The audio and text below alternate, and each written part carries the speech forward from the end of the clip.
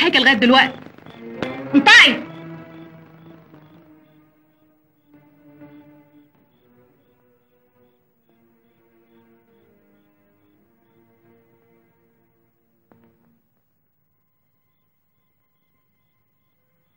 كنت بتتجسسي عليا مش كده؟ يا بنت اتكلمي وبطلت بحلقي في وشي بالشكل ده لحسن اخزق لك عينيك اللي بتبرنقلي بيهم دول. يا ريت يا ابله لا يا شيخ. أيوه يا ريت. على الأقل ما كنتش شفت اللي شفته. وأبويا جوزك لسه ما فاتش ثلاث أشهر على وفاته. اسمعي يا شاطرة. أبوك اللي انت حاسباه عليا يا جوز ده كان عنده 65 سنة يوم ما اتجوزته. فاهمة يعني إيه 65 سنة؟ يعني كان لازم آخد نشان يوم ما اتجوزته وأعمل فرح يوم ما مات. فاهمة؟ وإيه اللي غصبك تتجوزيه؟ ضحك عليا هو هو اللي ضحك عليك. أيوه ضحك عليا ضحك عليا بفلوسه. كان يوم أسود يوم ما دخلت عيادته عشان أتعالج. خفيت من المرض وابتليت بوباء. وباء. بابا كان وباء. أبوك عداني بعجز وتخريفه. أنا فضلت محبوسة في العوامة دي خمس سنين وكفاية لحد كده. أنت من بكرة الصبح تدوري لك على شغلانة تصرفي بيها على نفسك. أنت عندك شهادة امتياز في التمريض. ليه ما تشتغليش ممرضة في أي داهية؟ ولا ولا جورنالجية ولا مدرسة. بدل ما تطلعي على عينيا التخريف اللي بتقريه في كتب الشعر والأدب اللي مليانة بيهم العوامة. طب وافرضي اني اشتغلت ده هيمنعك عن اللي شفته بعينيا. بينك وبين الراجل اللي كان بيوصلك. اسمع اما أقول لك إذا كنت عايزة تعيشي عندي هنا أهو فلازم تغمضي عينيكي وتسدي ودانك وتقفلي بقك. أنا حر اعمل اللي يعجبني ولا قدامك باب عوامتي اهو يفوت جمل.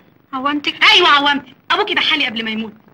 كدابة. قدامك المحاكم يا روحي تقولي فيها اللي انت عايزاه. أنا صحيح الحق عليا اللي ما طردتكيش من هنا يوم ما مات ابوكي. كان لازم تنكشحي من هنا انت والولية اللي اسمها حليمة في يوم واحد. وده اللي هعمله بعد كده إذا فتحتي بقك قلتي إيه؟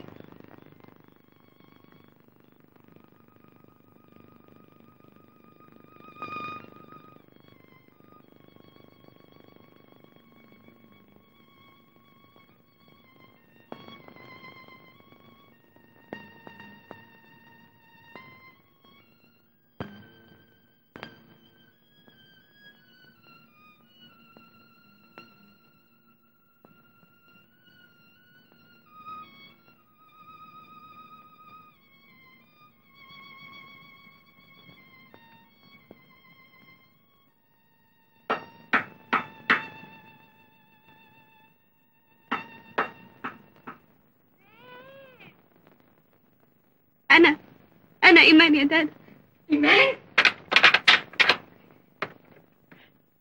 إيه اللي جابك يا بنتي دلوقتي؟ هي عملتها معاك أنت رخرة يا بنتي. أنا كنت عارفة إنها هتطردك زي ما طردتني. معلش. خشي يا بنتي خشي إنما إزاي يا بنتي تخرجك في وش الفجر هي ما فيش في قلبها رحمة. منها لله معلش يا بنتي معلش. دلوقتي تشربي لك حاجة سخنة وتنامي. والصباح رباح يا بنتي. صباح رباح يا أختي.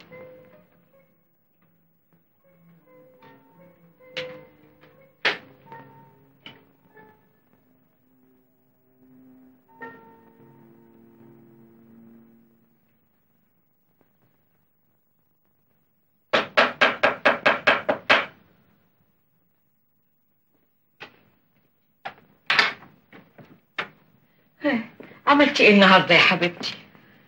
لسه يا دادا. الوظيفة الوحيدة اللي قبلوني فيها طلبوا مني خمسين جنيه تأمين. وأنا ما عنديش طب. ما تحمليش هم حاجة أبدا يا بنتي. ما أنا لسه ما فقدتش الأمل خالص. في إعلان طالب ممرضة لواحد طبيب عيون. يمكن يكون لي اسم في الشغلانة دي. إن شاء الله. مش بنت دكتور. ابن الوز عوام يا ست إيمان. لكن إيه ده كله يا دادا؟ تعملي لي حفلة ولا إيه؟ ولا حفلة ولا حاجة. كل ده من فضلة خيركم دادا روشتك فين؟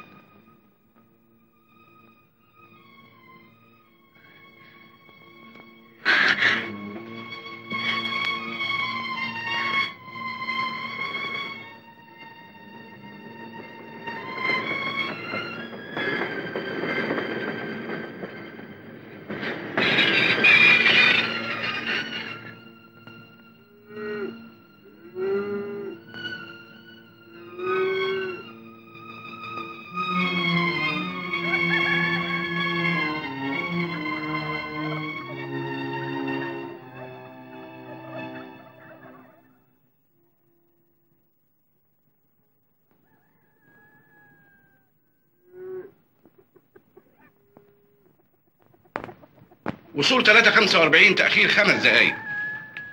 من فضلك. في مواصلة من هنا لعزبة أبو عاصم. عزبة أبو عاصم؟ أيوه. آه وبسلامتك بقى الممرضة الجديدة. أيوه. يا أهلا وسهلا يا أهلا وسهلا. شوفي بقى يا ست. المواصلة الوحيدة من هنا لعزبه أبو عاصم الموتوريجل الإيه؟ الموتوريجل يعني حضرتك تاخديها كعابي من هنا لهناك. مفيش قنبلات أجرة؟ في. بس ما بتمشيش من سكة أبو عاصم لأن السكة الزراعية ضيقة خالص. كان لازم الكاريتا تقابلك وتوصلك. المسافة قد إيه من هنا لهناك؟ ستة كيلو. معلش تقدر تاخديها واحدة واحدة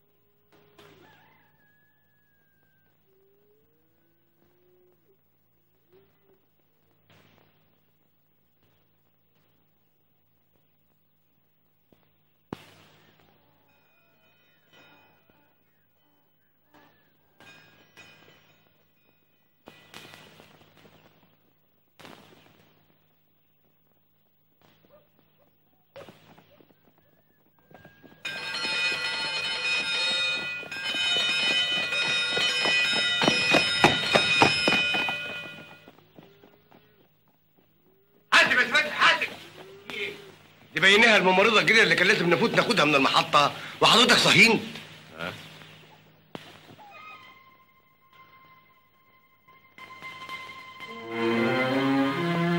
مش بطالة. تستاهل ننزل لها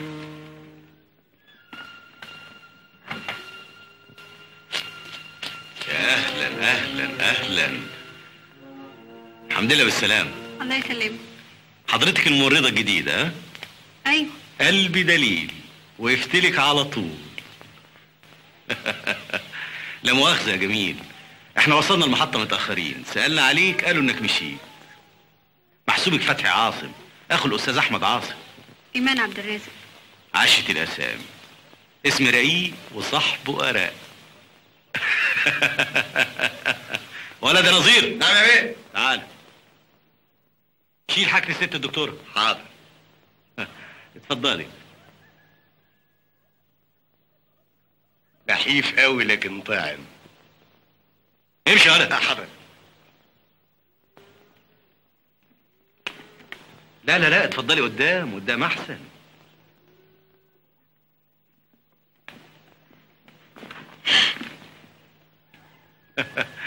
ما كانش ممكن غير كده. على العموم انت خف الريشه طول ما أنا معاكي ما تحمليش هم ركوب الكاريتا ابدا. الله. هي الدنيا برد للدرجة دي. معلش الصبر جميل. يا جميل. خلاص يا بجم. أيوه يا فندم. مستني إيه؟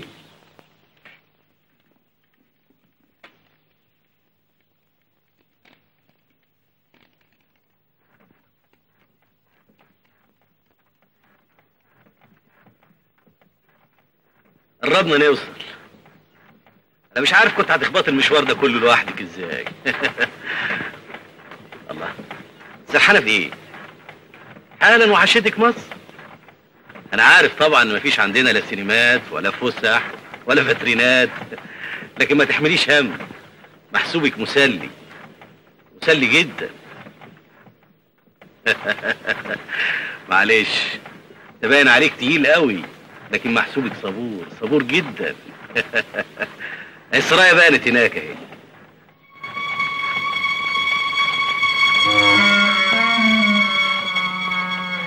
قديمة لكن هتعجبك أنا سايب الدنيا باللي فيها وعايش في المنفى ده عشان خاطر أحمد أخويا.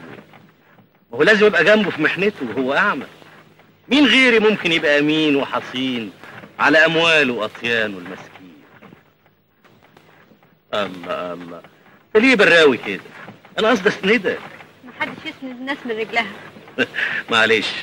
عيب إني متسرع. متسرع جدا. أدي إحنا وصلنا. أحلى حاجة إن الواحد يوصل.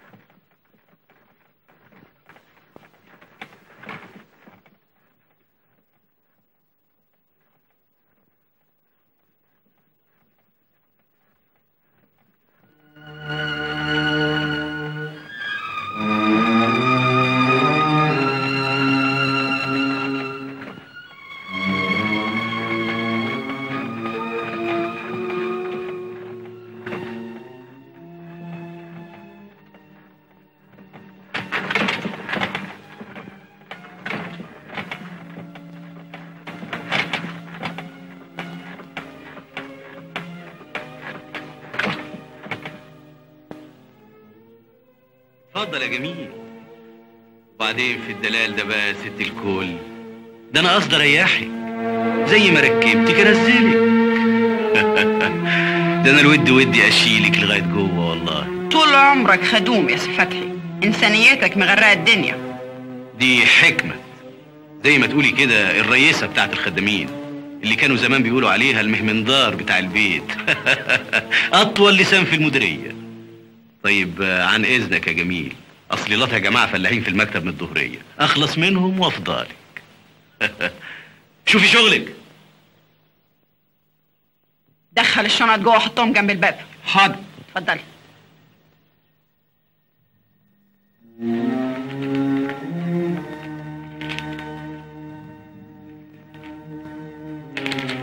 اتفضلي.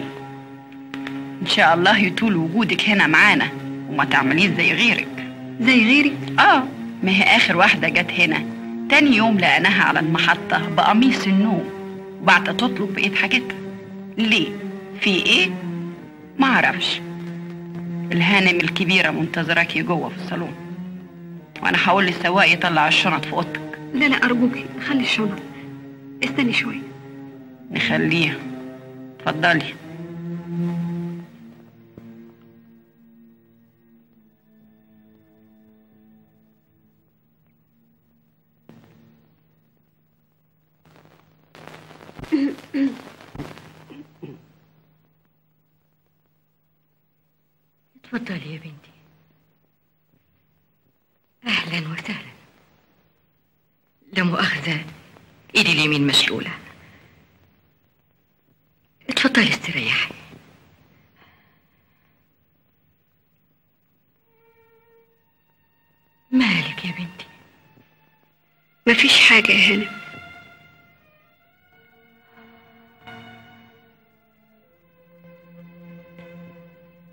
ندمانة انك جيتي.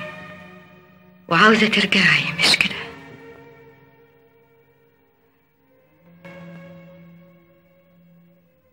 مش عاوزة تردي عشان مش عاوزة تكذبي. يا هانم. أنا عارفة. بس أرجوكي إديني فرصة عشان أشرح لك حالة ابني وظروفه. وبعدين أنت حرة. أحمد أول ما هتشوفيه هتفكري إنه وحش. ما يعرفش معنى الإنسانية أو الرحمة أو التفاهم. لكن أحلف لك أحلف لك بكتاب الله إنه غير كده بالمرة. بس محتاج للي يفهمه ويقدر ظروفه ويستحمله لغاية ما يسترد إيمانه وثقته بالدنيا وبالناس اللي فيها. هيتهيألك إني مجرد أم بتدافع عن ابنها لكن لو تعرف الحقيقة هتصدقيني. ابني شاب صغير ورغم شهرته ككاتب وأديب ما كانش يعرف الدنيا والناس على حقيقتها أحمد ضحية واحدة واحدة مننا علشانها كره كل امرأة في العالم. كان خاطبها وضع كل أمله فيها. كان عايش عشان يسعدها. سعاد؟ أيوة سعاد. اللي كان اسمها بيظهر في كل كتاب من كتبه وفي كل رواية نشرها. في يوم من الأيام اكتشف إنها بتخونه. اسودت الدنيا في وشه. ركب عربيته. وهو مش حاسس بحاجة ولا شايف حاجة. اصطدم في شجرة. ومن يومها وهو أعمى. أنا فاكرة إن الجرايد اتكلمت عن الحادثة دي. الجرايد اتكلمت عن الحادثة لكن محدش عارف المأساة المؤلمة اللي وراها أحمد ما فقدش بصره بس. أحمد فقد الثقة في كل امرأة في الدنيا. تعرفي يا بنتي أحيانا بتخطر لي فكرة غريبة. أحيانا بفكر إنه حتى بيكرهني أنا. أنا أمه لمجرد إني امرأة.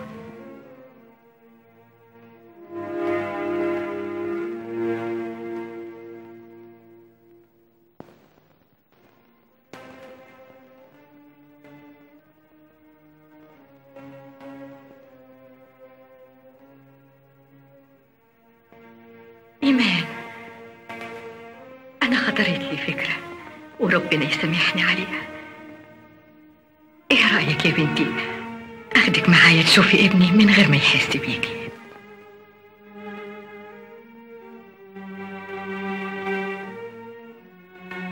أيوه بس أنا عاوزة أبين لك الفرق بين لما يكون مع أمه ولما يكون مع أي حد تاني خصوصا إذا كانت واحدة ست. أرجوكي أرجوك يا بنتي حققي لي الرغبة دي على الأقل. وبعدين أنت حرة. حاضر يا هانم. ساعديني يا بنتي.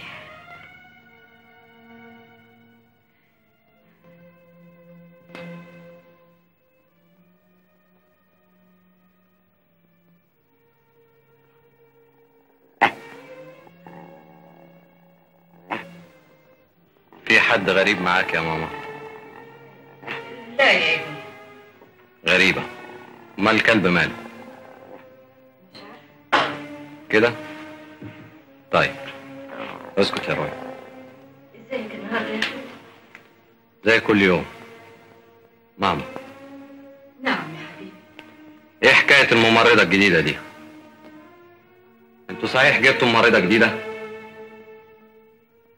أيوه يا حبيبي. الدكتور هو اللي هي فين؟ في أوضتها. طب من فضلك قبل ما تفضي شنطها. اديها ميت شهر واجرة السفر ولا تباتش هنا. بس يا أحمد. ما بسش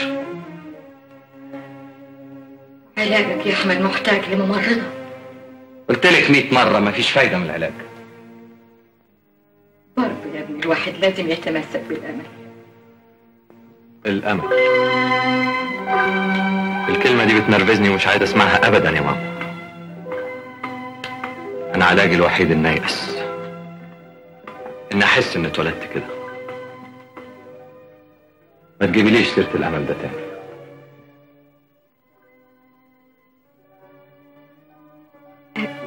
يا ابني الدكاترة بيقولوا الدكاترة بيحللوا الفلوس اللي بياخدوها.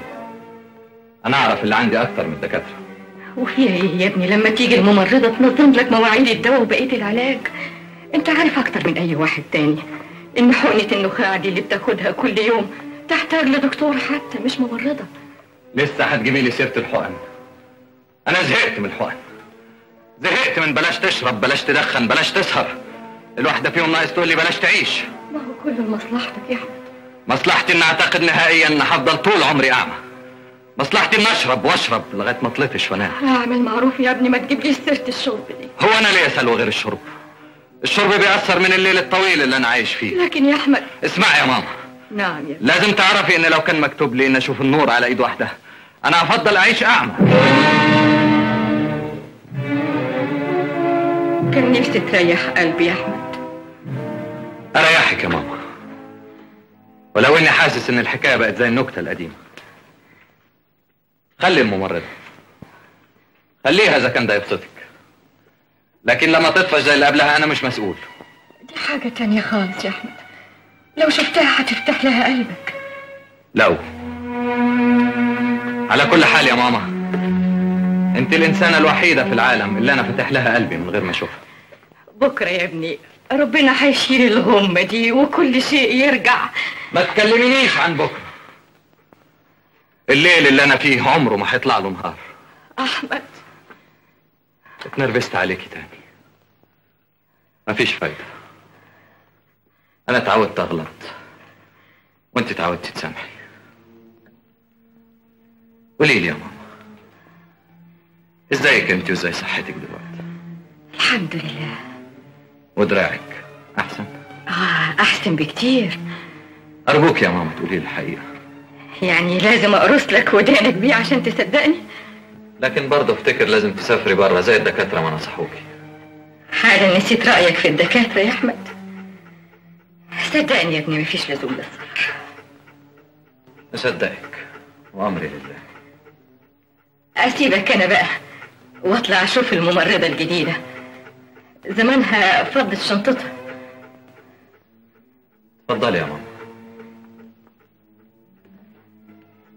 وما فيش لزوم طبعا تتعبي نفسك وتجيبيها لي إلا لما يوصل الدكتور.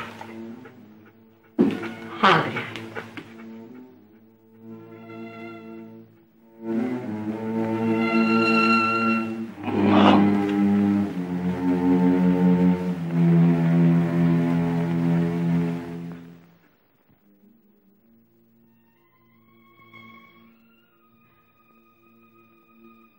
ادي اللي فاضل من ابني أحمد.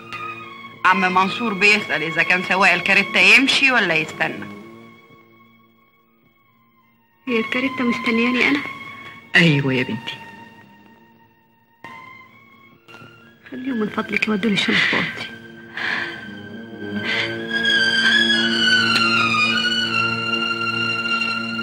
ده مش معقول! ده مش ممكن! ده مش ممكن ابدا! أنا لا يمكن أقبل كده! الله إيه ده؟ لا يمكن. ده في إيه جرى إيه يا عبد المعطي؟ يستحيل استهانم يستحيل. إيه هو بس اللي يستحيل. يستحيل اقبل الوضع ده ابدا. أنت يا تتهانم شايفاني قدامك. بني آدم ولا حمار بني آدم طبعا يا عبد المعطي. امال إزاي الأستاذ المؤذي. المؤذي جدا.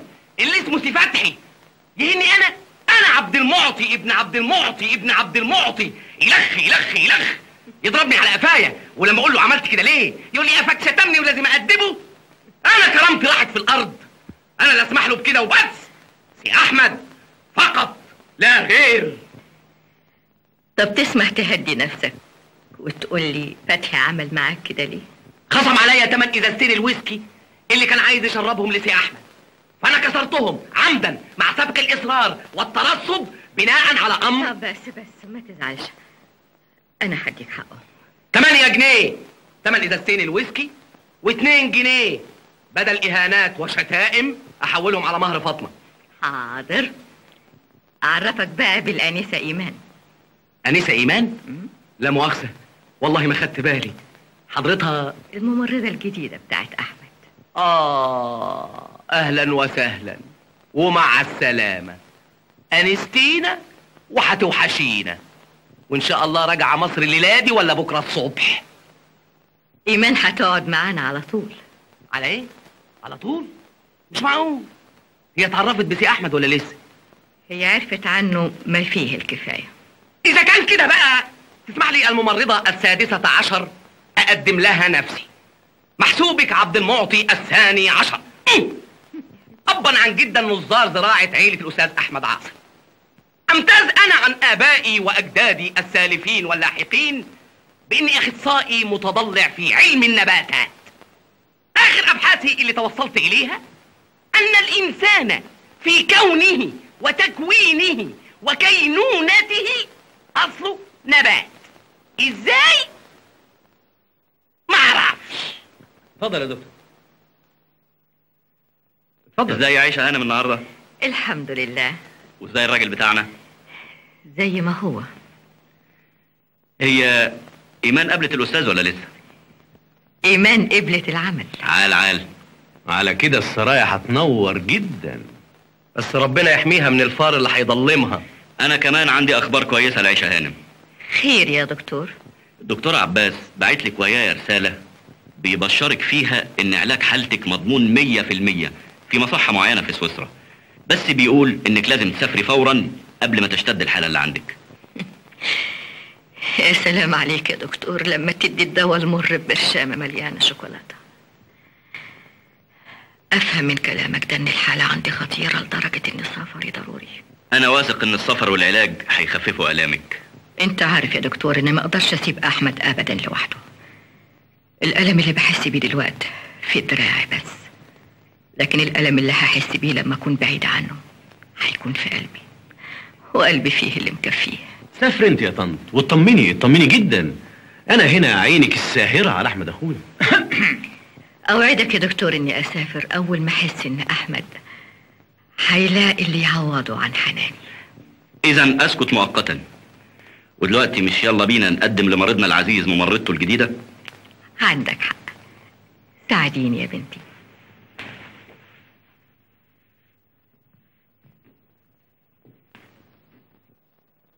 بقى حضرتك رايح تشتكيني للست الكبيرة يا ثاني عشر. لا لا لا لا لا لا. أنا ما اسمحلكش الحكاية دي ما تتكررش تاني ابدا. ليه بقى؟ هي مين أنا كخة ومن أحمد دحة؟ هي فين يا إما كان سي أحمد بيعملها. يا ريت يا سيدي ترجع الأيام دي تاني. ولو انه ولو إنه إيه؟ ولو إنه لما كان بيعملها كان بيعملها هنا مش هنا.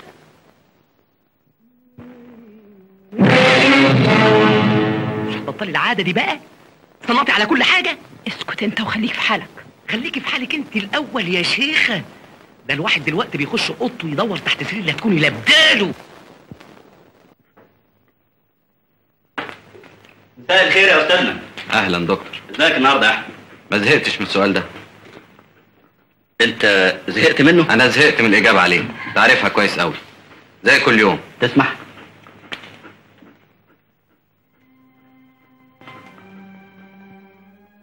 من حق. أنا جايب لك معايا الممرضة الجديدة. يا إيمان. الآنسة إيمان عبد الرازق. إيمان. أيوه دكتور. قربي سلمي على الأستاذ أحمد. أهلا وسهلا.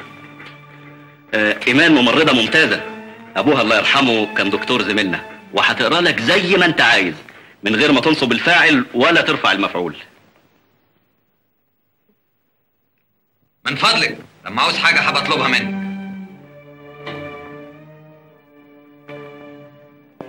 حد يديني سيجاره آه اتفضل يا اخويا اتفضل.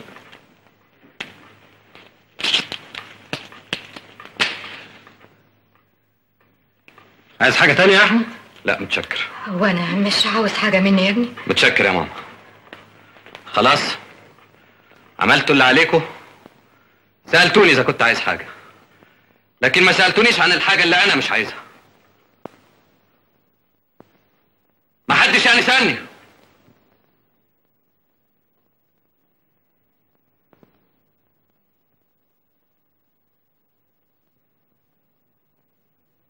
أنا أسألك. إيه هي الحاجة دي اللي أنت مش عايزها يا أستاذ أحمد؟ أنا ما وجهتش لحضرتك الكلام. وأفتكر إنك تخليكي في عملك وبس. أنا من صميم عملي ان اعرف إيه اللي أنت مش عايزه عشان أبعده عنك. متأكدة إنك هتبعدي أي شخص أو أي حاجة أقول إن أنا مش عايزها؟ أيوه. بشرط إنك تكون متأكد إنك مش عايزها. ما شاء الله. هو في حد ما يبقاش عارف إذا كان عايز حاجة أو مش عايزها؟ طبعا. ده في ناس بتعيش حياتها كلها من غير ما تعرف هي عايزة إيه بالظبط. ولو كان كل واحد في الدنيا عارف إيه اللي عاوزه واللي مش عايزه ما كانش يبقى في حاجة اسمها الندم ما تحاوليش تستعرضي كلمتين حفظاهم. الكلام اللي بتقوليه ده عمره 2000 سنة. الكلام ده عمره ما كان صح بالنسبة لزمن قد ما هو صح بالنسبة للعصر اللي إحنا عايشين فيه. الإنسان النهارده اكتشف أسرار الكون ومع ذلك لسه عاجز عن إنه يكتشف أسرار نفسه. أنا مش جايبة الكلام ده من عندي. بص الأبطال الروايات اللي هزت المسرح الحديث. من أول إبسن لحد رواياتك. تلاقي أزمتهم واحدة. مش عارفين هم عاوزين إيه بالظبط. أنا أتحداك يا ست إيمان. أنا مثلا عارف بالظبط إيه اللي أنا عايزه دلوقتي. إيه هو؟ إن حضرتك تيجي معايا زي الشطرة أديكي فكرة عن سير العلاج. تسمحي؟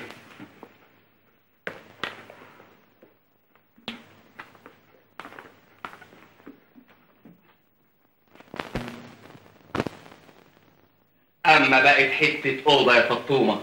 يا رب وعدنا يا رب. بس على الله تقع. وما تطفش زي غيري. لا دي باين عليها حاجة تانية خالص. أنا حاسس إن أدمها أدم خير. مساء الخير يا جماعة. مساء النور. مساء الإنسانية والذوق واللطافة. إلخ إلخ إلخ. هي دي أوضتي؟ بعيد. كمان مش قد المقام. ملائكة الرحمة لهم قصور في الجنة. فمش كتير عليهم بحور في الأرض. جحور بالشكل ده يا عبد المعطي عبد المعطي الثاني عشر. ودي فطومة خطيبتي حاليا وأم الثالث عشر مستقبلا. اتحشم يا ثاني عشر. إيه كلها شهر ونتجوز يا فطمطم وبعد تسعة تانيين يطب ولي العهد. آه من حق قولي لي انت محوشة من المهر لحد دلوقتي كام؟ هي اللي بتحوش. آه آه آه. أنا بحوش عندها. فطومه هي الخزنة وهي كمان المفتاح. ربنا يهنيكم بعض. ويسعدك انت كمان. ويجعل قدمك سال أخضر علينا كلنا. بمناسبة الخضرة أنتوا ليه سايبين الجنينة مهملة بالشكل ده. والله يا ست اللي في إيده الحكاية دي ما هوش فاضلها. مين هو؟ هيكون مين غير هادم اللذات ومفرق الجماعات؟ الثعبان الأرقط الهارب من جنينة الحيوانات. الأستاذ فتحي عاصم. الكابتن وصل. أهلا عم منصور. اتفضل. مساء الخير يا ست إيمان. مساء الخير. إيه ده كله يا عم منصور؟ دي وليمة مش عشاء. بالهنا والشفا. جو العزبة هنا جميل ويفتح النفس. الله! الله! انفشلت الدباين عليه هايل. ده عمايل فاطمة بنتي. فعلا. فعلا. أما عليه ريحة ريحة جميلة. ريحة لذيذة ريحة نتنة. تقول إيه يا حيوان انت. حيوان بقى ده جزات اللي بمدح فيك وأقول عليك ريحة نتنة. أنا كنت دلوقتي بشبه كل واحد بريحة وردة من الورود. الأستاذ أحمد ريحة المشمش. عم منصور ريحة القرنفل. الست إيمان ريحة الفل. حضرتك ريحة نتنة. اخلص. ريحة نتنة. من الريحان يعني. ما سمعتش عنه؟ طب نجرب مره منك. له له. لا كمان.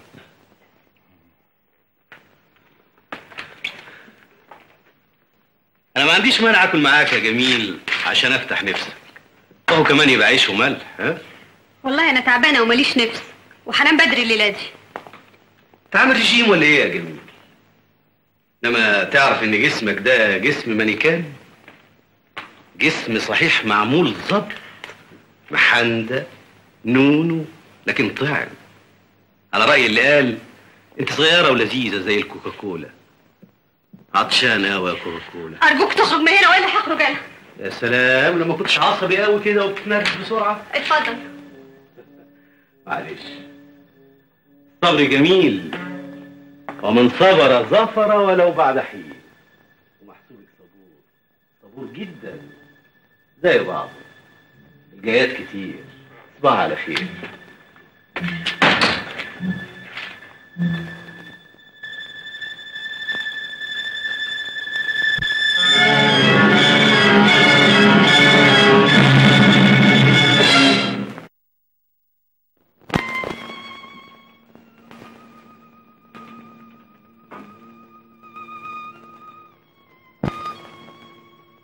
انت مش ناوية تخلصي بقى؟ دي ما كانتش حقنة دي. أنا اديتك الحقنة خلاص. اديتيني الحقنة؟ أيوه. غريبة. من غير ما أحس بيها؟ لازم حضرتك كنت مركز تفكيرك في حاجة مهمة قوي ده أنت اللي يظهر إيدك خفيفة قوي الله يحفظك. أنت هتهزري معايا ولا إيه؟ ابدا. أنت كلامك كتير وبتتجاوزي حدودك أكتر من لازم بس ما بسش. متأسفة ما تعمليش حاجة إلا مطلوبها منك. أقرأ لحضرتك الجرايد؟ لا. أي خدمة تانية؟ قلت لا. من إذنك. استني. هي الساعة كام دلوقتي؟ عشرة ونص. الصبح. زي بعض. افتحي البار وهاتي إزازة ويسكي وكوباية.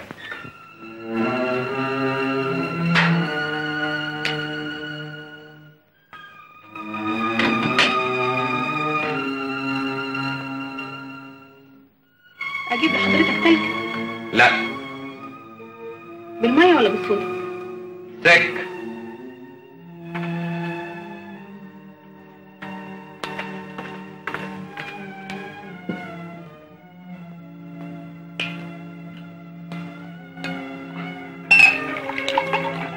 زودي الويسكي شوية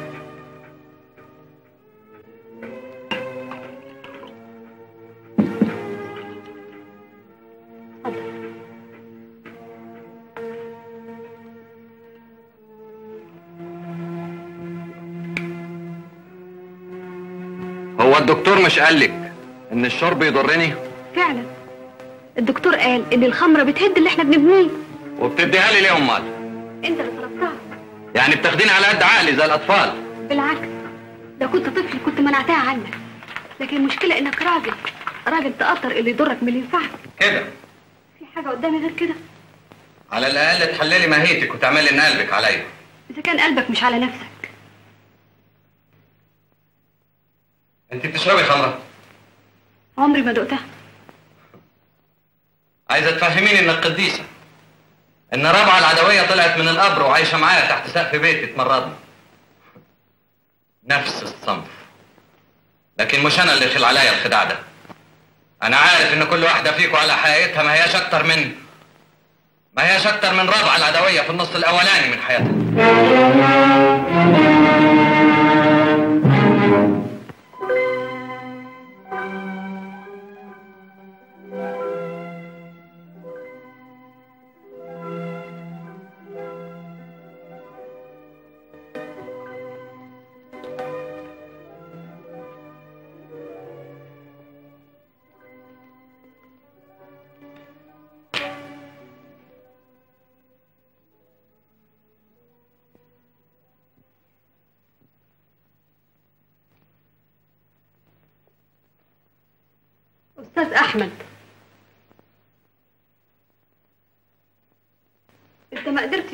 إنك إنسان وحش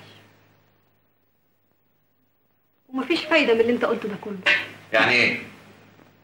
الإهانات دي كلها مش هتحقق هدفها. أنت تقصد إنك تتخلص مني وتخليني اطفش والله إذا كان عاجبك على كده خليكي لو أنت فعلا كده ما كنتش استنى ثانية واحدة لكن أنت مش كده. يظهر في معرفة قديمة. فعلا. إزاي؟ أنا قريت كل كتاب كتبته. كل قصيدة نشرتها كل حرف كل كلمة. الصورة اللي اترسمت في ذهني عنك غير القناع اللي أنا شايفاه دلوقتي عليك. يا أستاذ أحمد أنا أعرفك من زمان. أعرفك من قبل ما أشوفك. عن إذنك.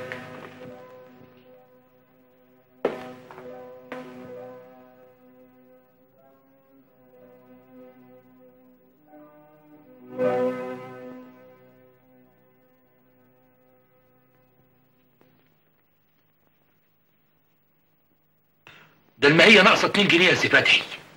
آه. دول مغصوبين منك عشان الإطباق اللي كسرتها أول امبارح. فاكرين ما أنا أخويا سايب ولا إيه؟ ده أنا اتعترت في السلمة المكسورة اللي ياما كلمت سيادتك علشان نصلحها. ده أنا رجلي كانت هتنكسر. رجلك أنت معلش لكن الإطباق لا. اتفضل وريه عرض كتافك اتفضل. حاضر. إيه ده يا سي فتحي؟ إيه أنت كمان؟ المية مش الفطة خالص. احسب زي الناس يا سي زفت طب الاتنين جنيه قسط ازازتين الويسكي وسكتنا عليهم. لكن الاتنين جنيه التانيين دول علشان إيه؟ دول إعادة للفلاحين الفقراء. أنت عارف إني إنسان إنسان جدا. إيه جدا جدا. الله إيه؟ يعمر بيتك. طب يلا يلا جرب بره يلا. تعال هنا. نعم. في خصومات تانية؟ الجواب ده. ماله في حد فتحه. يعني هيكون مين اللي فاتحه هو ما حدش بيدخل الأوضة دي غيرك أنت. لا في حد ونص. مين يعني؟ حكمة.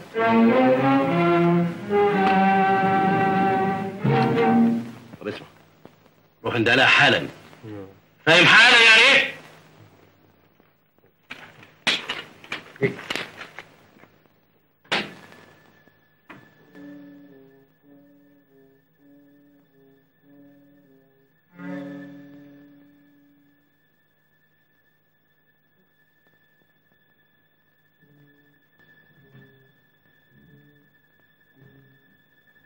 عاوز حاجة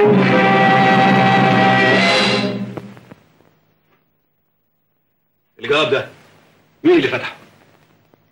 أنا. انت أيوة أنا. أنا مش قلت لك 100 مرة ما تدخليش الأوضة دي. فتحتي الجواب ده ليه؟ علشان جاي لك من البنك. وأنت إيه اللي حشرك في حاجات زي دي؟ عاوز أشوف الدفعة الأخرانية اللي لهفتها من بيعه القطن كام. آه أنت زودتيها قوي. أنت اللي بقيت ماسك إيدك قوي. وعلى مين؟ على ابننا يا فتحي. ابني وابنك ابنك اللي من دمك ولحمك. مش هتبطلي الاسطوانه دي بقى. وأنا مش هخلص من طلباتكم. لو كنت خليت لي حاجة من الفلوس اللي صرفتها عليك ما كنتش طلبت حاجة منك دلوقتي يا فتحي. وعلى كل حال اللي بطلبه منك علشان كسوة وتعليم ابننا. وطي صوتك. حاضر.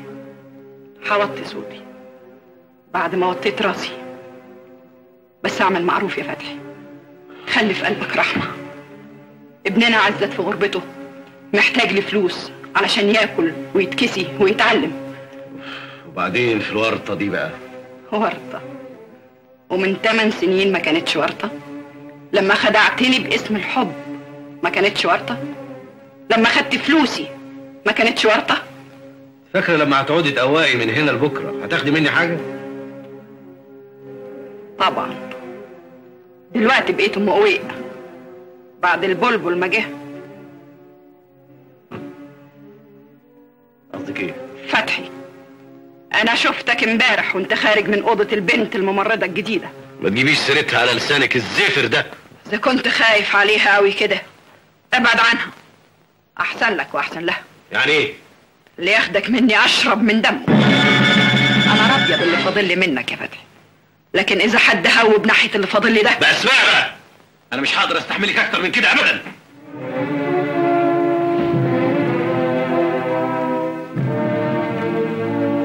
يا أهلا يا أهلا يا أهلا. دي خطوة عزيزة قوي أخرت عليا يا فتحي قلت أجي لك بنفسي. دي أوضتي نورت يا أحمد. أنت أدرى.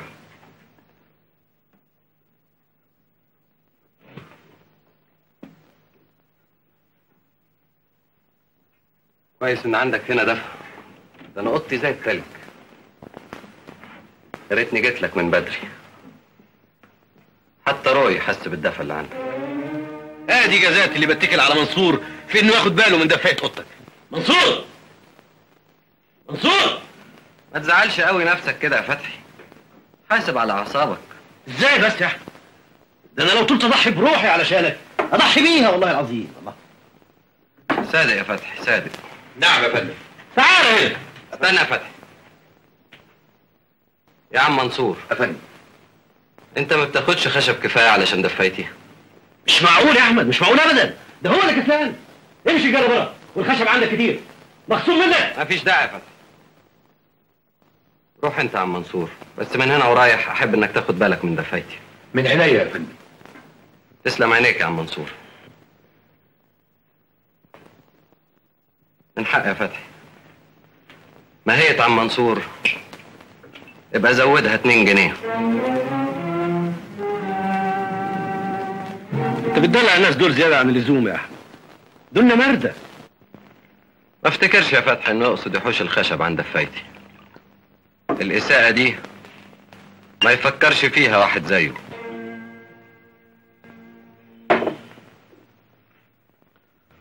اتفضل يا أحمد. صحتك من حق. إيه رأيك في الممرضة الجديدة؟ ده أنا اللي أسألك السؤال ده. أنا قصدي عن شكلها. شكلها؟ شكلها يا سيدي يحض على الفضيلة ومكارم الأخلاق. شكل زي ما تكون الطبيعة كده تفننت في تلخبيطه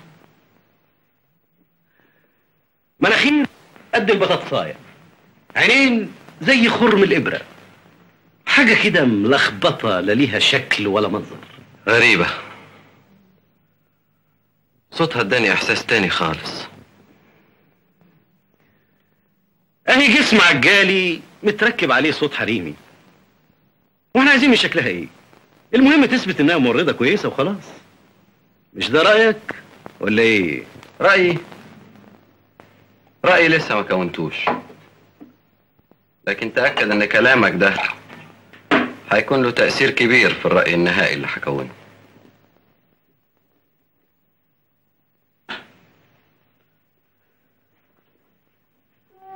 في إيه؟ لا ده بس يأتي جاكيتة وسخة بنفضها لك. اشرب أخويا اشرب.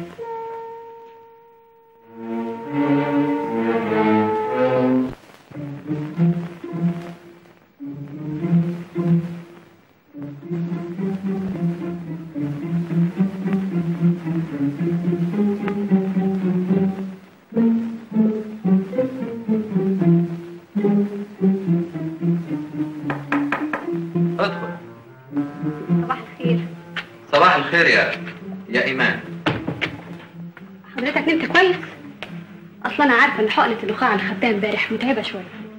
يعني؟ أهو لما بيجافيني النوم بقنع نفسي إن الليل اللي بتعرفوه إنتوا لسه ما جاش. اقعدي في الكرسي اللي قصادي.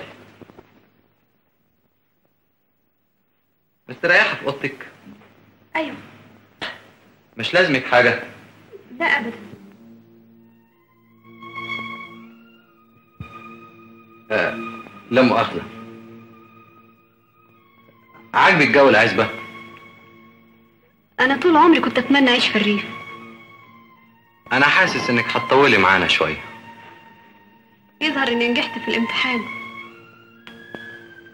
يظهر إنك أقصر مني بحوالي 10 15 سنتي ده صحيح. إنما إنما عرفت إزاي؟ مش كده؟ أيوه من المستوى اللي جاي لي منه صوتك. أنا مضطر في الصورة اللي بكونها في خيالي عنك إن أعتمد على الاستنتاج. الصورة دي قد كده ضرورية؟ محدش يعرف قد إيه الصورة دي ضرورية إلا واحد له ظروفي. واحد محكوم عليه إنه يدخل في حياته إنسان آخر من حقي على الأقل ان أعرف كل حاجة عن الإنسان اللي هيعيش معايا بحكم عمله.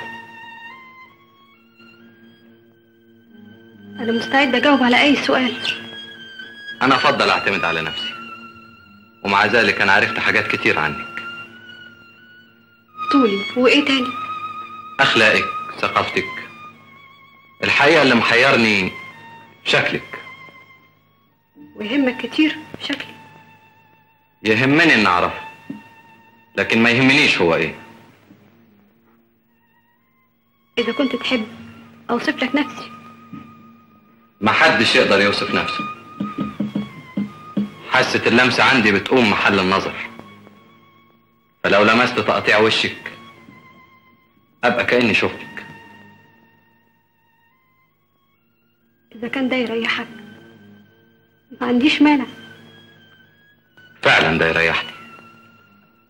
وفي الوقت نفسه يفسر لي حاجات كتير بشك فيها. اتفضل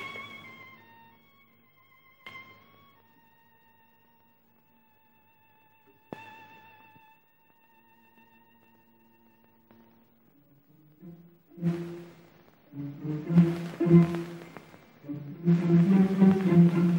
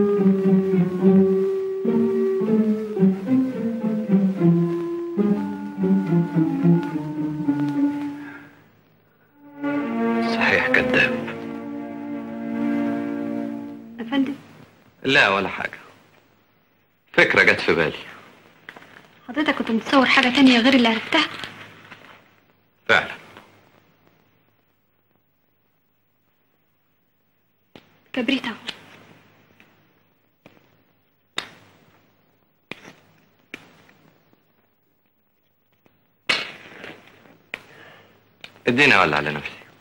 اسمح لي حاول.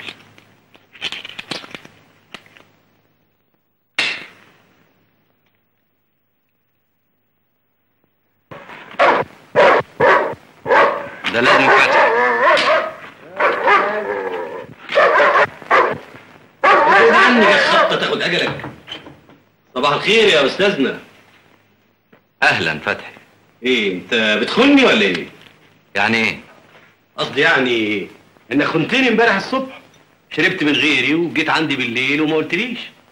امبارح كان حاجة والنهاردة حاجة تانية. يا ترى إيه اللي جرى في الدنيا؟ حاجات كتير. الحاجات الكتيرة دي تخليك تشرب من غير ما تقول لي أنا امبارح ما كنتش بشرب عشان أسكر. لكن عشان أرتكب غلطة. غلطة كبيرة الحمد لله إنها ما حصلتش. آه النهارده بقى هتشرب عشان تصلح الغلطة دي. مش كده؟ بالليل يا فتحي بالليل. بتهيألي إن الانسه ايمان هتفضل معانا على طول ها؟ المرة دي يا فتحي إحساسك في محله. الظاهر إنها نالت الرضا. كممرضه طبعا؟ واضح جدا إنك كونت رأيك بسرعة. الفضل لك. رأيك أنت هو اللي خلاني أعرف الانسة ايمان من غير ما أشوفها. والله أنا قلت لك رأيي بصراحة. عيبك يا فتحي إنك ما بتعرفش تكذب.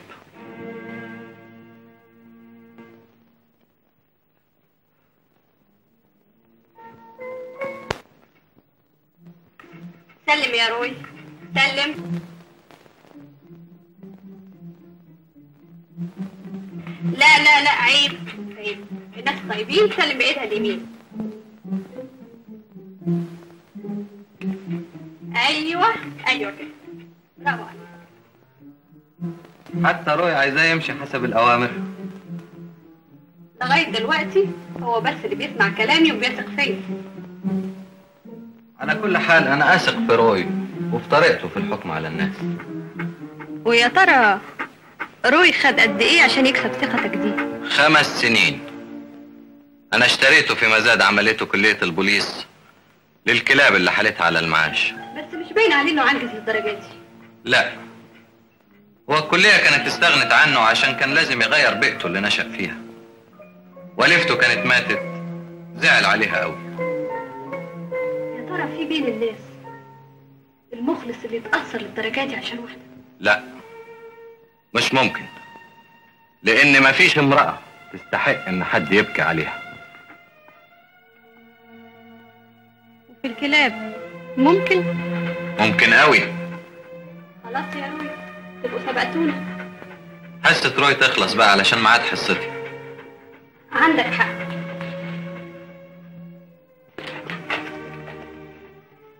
إحنا هنقرا إيه النهارده؟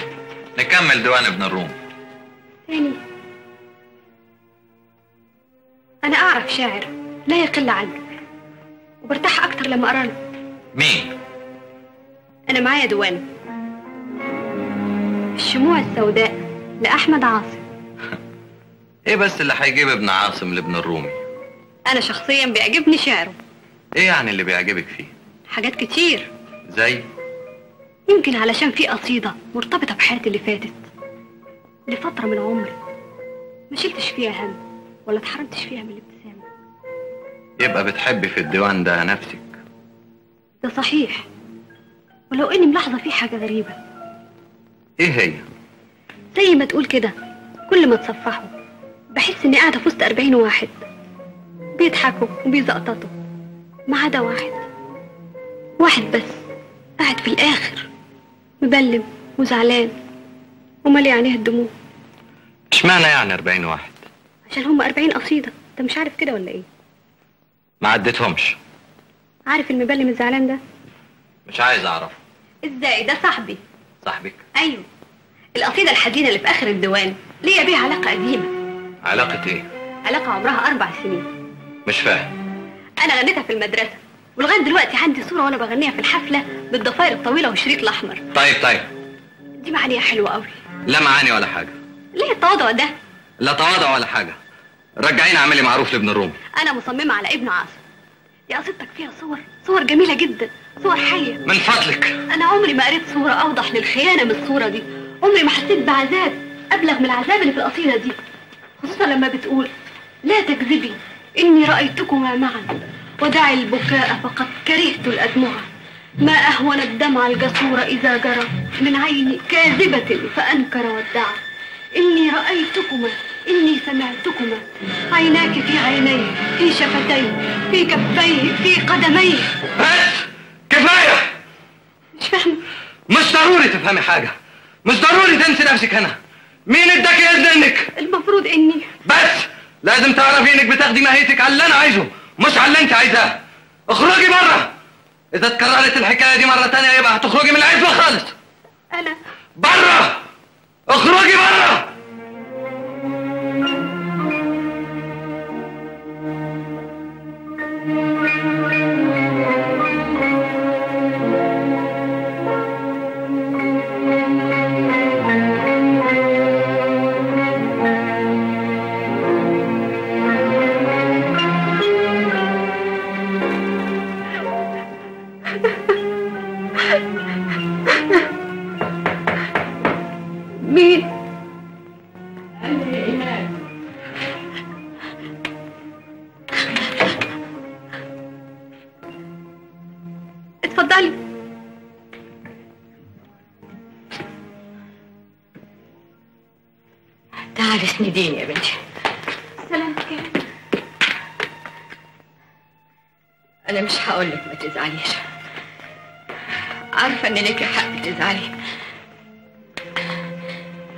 دلوقتي كل حاجة. أحمد هو اللي قلب نفسه. اللي محيرني يا هانم اني ما عملتلوش حاجة. يا بنتي انت لا عملتي حاجة. ولا هو عمل حاجة. كل ده يا هانم ولا أنتوا الاتنين ضحية. ضحية الماضي المؤلم اللي لسه عايش فيه أحمد. بس أنا ما جبتش ابدا سيرة الماضي.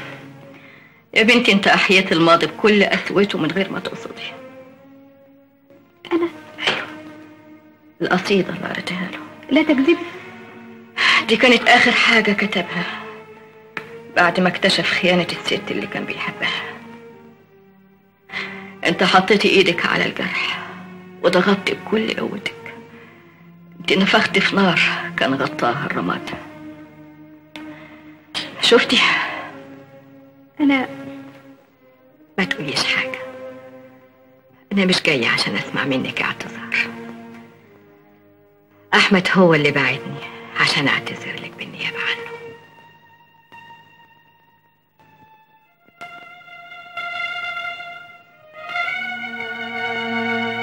أيوه هو اللي وأنا دلوقتي لما بترجاك إنك تروحي له بتكلم بلسانه. يلا. يلا يا بنتي.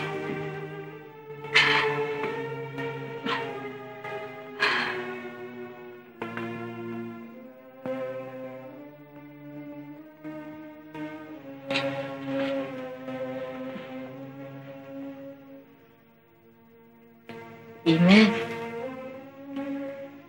فين ابتسامتك الحلوة. هم؟ يلا يا بنتي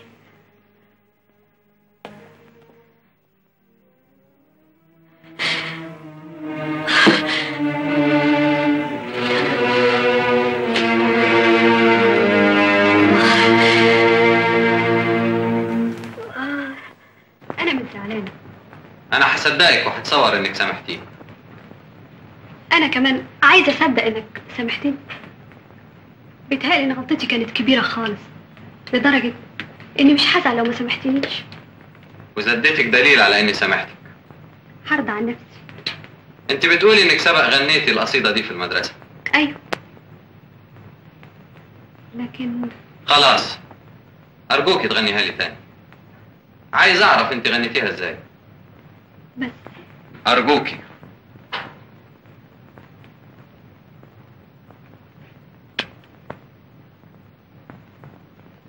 ارجوكي انت مستنيه إيه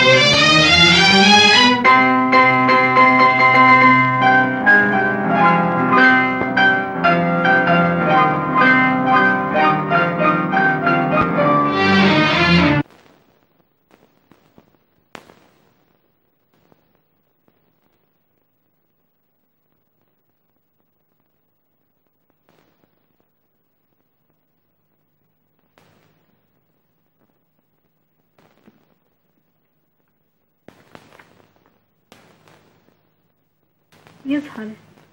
إن صوتي ما عجبكش. ابدا. الحكاية مش كده. أمال ليه؟ ليه ما قلتلكيش رأيي؟ أيوه. الحقيقة ما كانش لازم أغني القصيدة دي. على الرغم من إني أنا اللي طلبتها؟ أنت طلبتها مني عشان تجاملني. علشان أرضيك مش علشان أجاملك. وعلشان حاجة تانية. إيه؟ هي اني امتحن نفسي امتحان معين.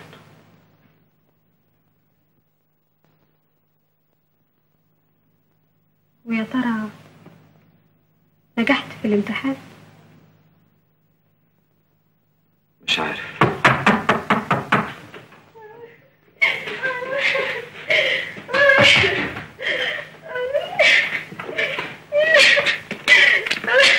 مالك يا فاطمة؟ انت مش بتقول انك مش هتتكلمي إلا قدام الاستاذ أحمد؟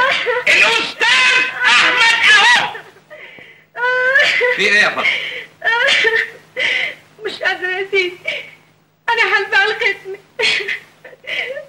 مين اللي محلفك؟ الست الكبير الست الكبيرة محلفاك على إيه؟ اتكلمي. حتى الحلفان يجوز في حاجات زي دي. تعرفي لو ما كلمتيش هتروحي حد يا مصيبتي ربنا يسامحني بقى. أصل الست الكبيرة شفتها من شوية مسرقه؟ أنا وديتها اوضتها وهي حلفتني ما جبت لها لحد ودي مش أول مرة. يعني حصل قبل كده. يا مصيبتي أنا كنت حالفه برضه معقول أبقى إنت بقى يا عبد الماضي. ماما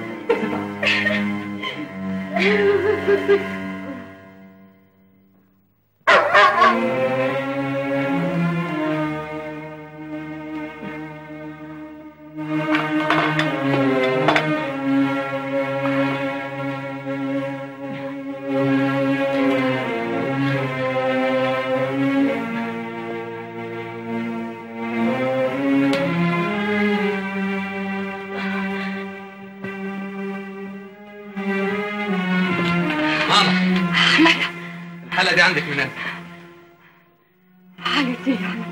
أرجوك يا ماما مفيش داعي إنك تخبي عليا.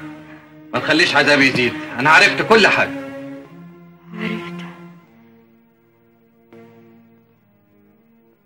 اخسى عليك يا فاطمة. يا ابني أنا ما حبيتش أزود همك. كفاية اللي أنت فيه. كفاية إن أكون آخر من يعلم. هو أنا مكتوب عليا دايما إن أكون آخر من يعلم؟ بكرة الصبح يا عم معطي أنت وفتحي تبتدوا تعملوا إجراءات السفر. هو لزومه إيه السفر ده؟ هتسافري سويسرا. وهتروحي المصحة اللي قال لنا عليها الدكتور عباس. يا ابني الحكاية مش مستاهله أرجوك يا ماما الحكاية مش محتاجة المناقشة. إحنا كلنا مطرحك يا ست هانم. أنا مش ممكن أسافر وأسيبك ابدا. يا هانم أنا ليا كلمة بسيطة.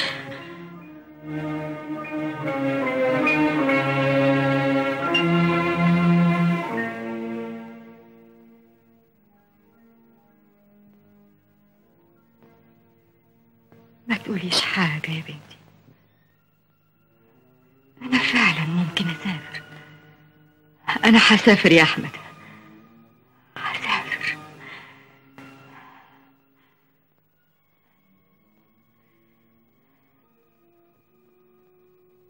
أنا والله يا طنط ويلي ويلي. كان الود ودي أسافر معاكي أوروبا عشان أخد بالي منك. لكن أديني هقعد هنا جنب أحمد جنب حتة مني ومنك برضه. فيك الخير يا سي فتحي. تعال يا إيمان. عايزاك تعرفي إن مفيش حاجة في الدنيا قدرت تخليني أسافر. غير وجودك أنت جنب أحمد.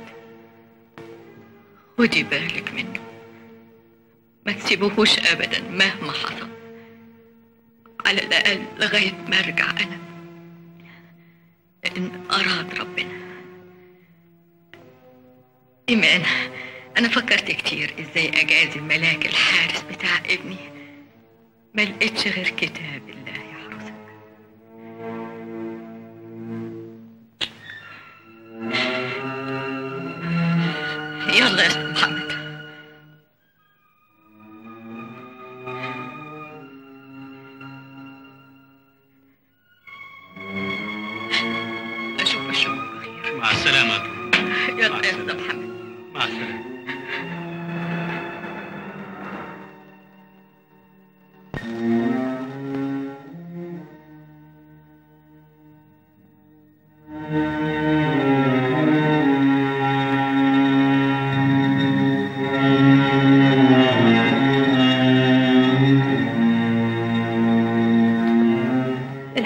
جاي يا أستاذ أحمد. تقدري تأجليها دلوقتي. أنا مش هعطلك على اللي انت فيه أكتر من خمس دقايق. قلت لك أجليها. يا أستاذ فتحي. أيوه. ممكن توصلني المحطة؟ آه قوي بس ليه؟ أنا ماشية من هنا. ماشية؟ أنا ما بقاليش لزوم هنا. المفروض إني أمنعك عن اللي بتشربه ده. ما حدش يقدر يمنعني عن حاجة أنا عاوزها. خلاص. لما تيجي حضرتك كمان تمتنع عن الحقن يبقى مفيش داعي لوجودي خالص. انت في بينك وبين الخمرة طار يا انسه ايمان لا طار ولا غيره أنا مفيش بيني وبينها أي معرفة خالص. آه يبقى إزاي بقى تحكمي على واحد من غير ما تعرفيه ها؟ شفتي؟ إيه رأيك في الحجة دي يا أحمد؟ أنا مقنع مقنع جدا. مش كده؟ أنا مش محتاج أقنع حد بحاجة أنا مقتنع بيها. بالعكس. أنت محتاج تقنع الانسه ايمان إنها تسمح لك بالخمرة على اعتبار إنها دواء. دواء ما وصفوش الدكتور. بالعكس حرمه. اسألي مجرب الأستاذ فتحي بيطبق نصايح الست الكبيرة بإخلاص نادر المثال. الست الكبيرة على عيني وراسي إنما برضه أنت عارف إن شرب الأستاذ أحمد للخمرة بيزعلها ويسبب لها المرض. اكتبي لها إنه بطل الخمرة وهي تطمن. أنا لا هكتب لها ولا حاجة. أنا كنت مكلفة بمهمة وفشلت فيها.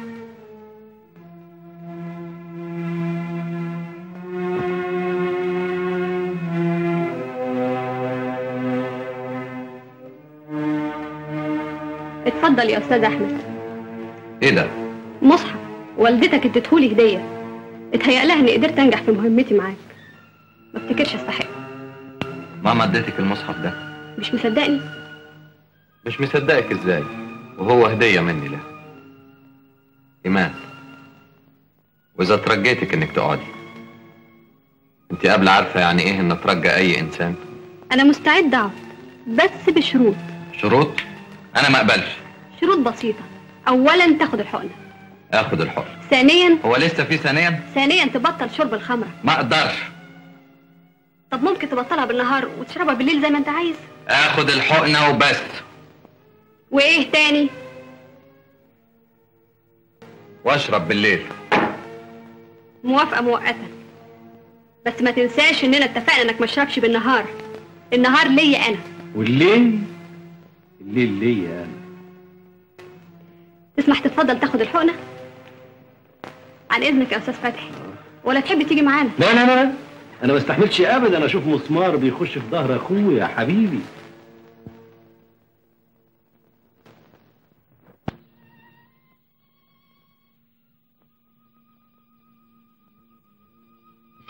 يا ترى ما تعبتيش من المشي؟ إزاي بقى؟ في أجمل من المشي في الشمس والهواء لما يكون بكامل حريتك. إنما أنا خايف لا تكوني زي اللي بيشرب شربة زيت قدام واحد علشان يقنعه إنه يشربها. ظلمت نفسك. لازم تعرف إنك كأديب كبير. في ناس كتير تتمنى إنها تتمشى وياك شوية دول. لو تعرفي إيه اللي بيجرى كل ما بتحاولي تخليني أثق في نفسي. إيه اللي بيجرى؟ اللي بيجرى ان بثق فيكي انت أكتر. ده لازم أبو الدهب. أبو الدهب مين؟ أبو الدهب ده حصان. إحنا مش جنب الاسطبل دلوقتي. أيوه. يظهر انكم معرفة قديمة. من زمان. ده حصاني الخاص. أنا آخر مرة ركبته فيها أيام ما ما كنت شباب. حضرتك بتقول شباب؟ أيوه. ما أنت لسه فعلا شباب. أنا ما اديكش عمر أكتر من 30 سنة. أنا عندي بالظبط 32 سنة. يبقى عندي حق. ما تأخذنيش يا إيمان. أنا آخر مرة شفت نفسي فيها في المراية كان من خمس سنين. أنا نسيت أنا شكلي إيه.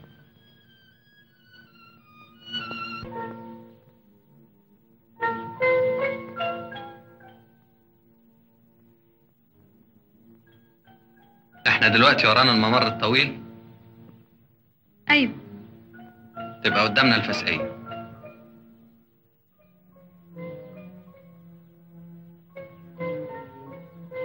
غريبة.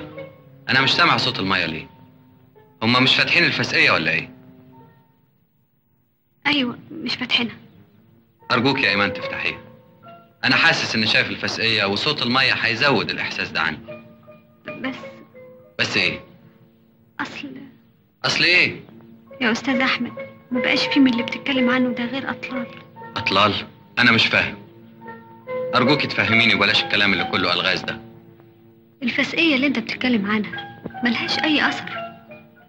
الطين والأعشاب غيرت ملامح كل شيء. مش بس هنا كل الجنينة بقت غابة. إيد الإهمال مسحت كل جمال فيها. غريب. فتحي بيتفنن في إنه يحرمني حتى من الخيال. معلش. يلا بينا.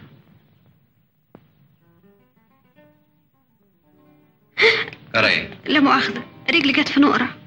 متأسفة يا أستاذ أحمد. حصل خير. على فكرة يا إيمان حكاية أستاذ دي عاملة زي الطربوش على كلامنا.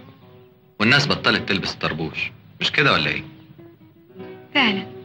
يا أحمد. أهو كده. أمال روي فين؟ روي هناك أهو. عمال يجري ويلعب. المرة دي أنا اللي كنت حق متهيألي أحسن. خلي إيدك في إيدي على طول.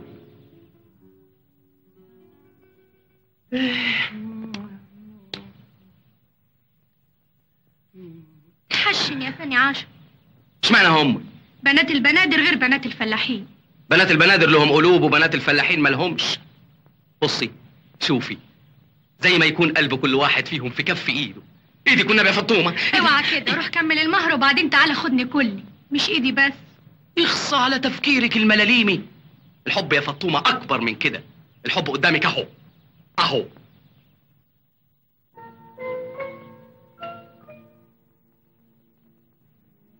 أفتكر إحنا مشينا كفاية النهارده. أنا مش حاسس بأي تعب. حاسس بحاجة واحدة. إيمان. يا ترى أنت حاسة باللي أنا حاسس بيه؟ قول انت الأول. حاسس إني جعان. جعان قوي. أنا من سنين طويلة ما حسيتش بالجوع ده. شفت التمشية بتعمل إيه؟ التمشية لما تكون معاكي. يبقى لازم تتعشى بدري. يبقى لازم تتعشي معايا. أنا عمري ما كانت نفسي مفتوحة للأكل زي النهاردة. إيمان. أيوه يا احمد أنا نفسي مش مفتوحة للأكل بس. أنا نفسي مفتوحة للدنيا كلها.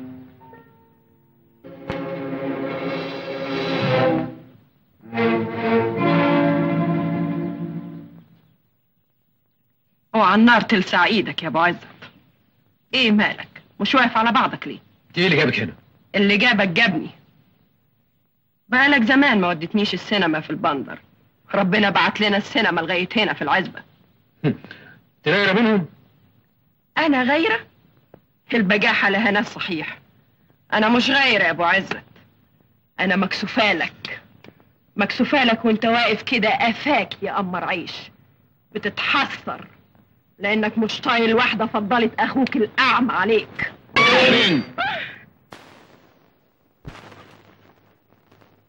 ماذا أقول له؟ لو جاء يسألني. إن كنت أكرهه أو كنت أهواه. ماذا أقول إذا راحت أصابعه؟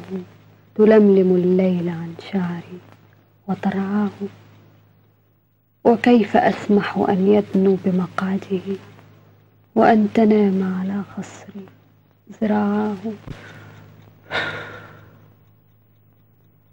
أحمد. أحمد. ها؟ اللي واخد عقلك يتهنبه أنت مش معايا. فعلا. يا ترى مين اللي واخدك مني؟ من القراية. شخص عزيز علينا كلنا. يبقى الهانم الكبيرة هي الساعة بقت كام دلوقتي؟ 11 ونص. ياه. انت اتأخرتي قوي عن ميعاد نومك. أبدا. لا. أنا تعبتك معايا طول النهار. لازم تروحي تنام مني ولا من القراية. لازم تسمعي كلامي إذا كنت عايزاني أسمع كلامك. على خير تصبح على خير يا إيمان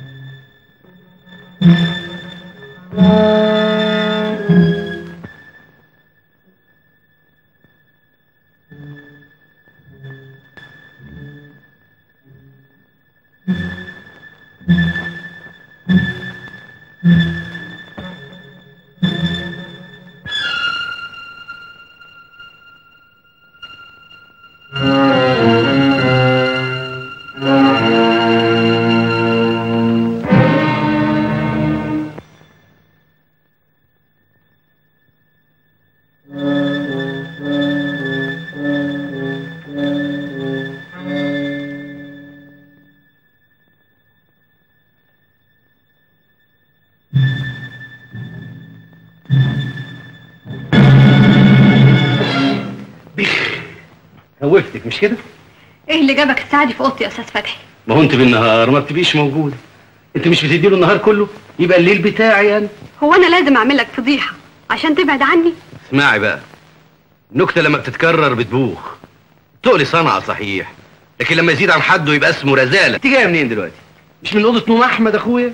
يعني خلاص أنا بقى اللي ماليش نفس أنت تطلع بره وتقصد الشر أنا أعرف احمي نفسي منك كويس. أنت كنت فاكر إني سكتلك تبقى غلطان. أنا بس مش عايز ازود هموم أخوك. لا. شجيعه قوي انت فاكرة نفسك هتخوفيني؟ أستاذ فتحي ثانية واحدة وهصرخ وتبقى فضيحة. ظاهر انك حدقه قوي. تكونيش عايزه تسبكيها يا بنت ونتجوز. طب بشرفي لولا اني خايف على حبنا كنت اتجوزتك على طول. لكن انت عارفة بقى المأذون بيدخل من الباب والحب بينط من الشباك. ومع ذلك نفكر يا جميل. بس بلاش التقل ده ها؟ ها قلت إيه؟ قلت انك تتفضل. لحسن أنا وصبري خلص وحليم عليك اللي في البيت كلهم أنا عمري ما حد عصلك معايا بالشكل ده ابدا. تظهر الذوق والسياسة مش نافعين معاكي بقول لك أخرج. أنا هخرج المرة دي. بس دي آخر مرة هخرج فيها من عندك وقفاي قمر عيش. كل عقدة وليها حلال. المرة الجاية مش هتفلت من إيدي ابدا يا جميل.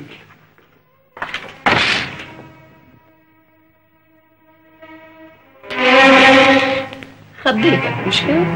بتعملي إيه هنا؟ يا خيبتك. مدوخاك ومورياك السبع دخان. تضربني كمان يا فتحي عشان بنت زي دي؟ تضرب أم ابنك عشان بنت زي دي؟ امشي وحوطك. إن خليت الدبان الأزرق يعرف طريقها بعمل أكتر من كده.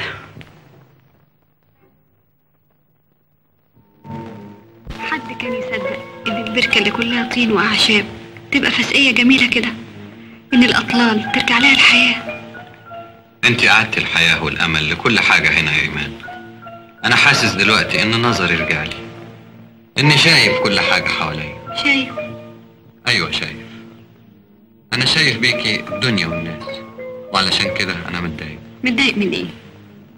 متضايق علشان نظري هيروح مني تاني بكرة. اللي يسمعك كده يفتكر إني مسافرة مصر ومش راجعة. دي مجرد ساعات النهار بس. وهرجع المغرب أقول إيه بس؟ غلبتيني بحكاية الدادة دي. مش هقدر أقولك ما تزوريش دادتك. ده عيب وكل سنة وأنت طيب. المهم إنك ما تأخريش عن المغرب. لكن طبعا مسموح لي إني أرجع قبل المغرب. ومسموح لك برضه إنك تغيري رأيك وما تسافريش خالص. أنت عارفة إن دي أول مرة تبعدي عني من يوم ما جيتي. وآخر مرة.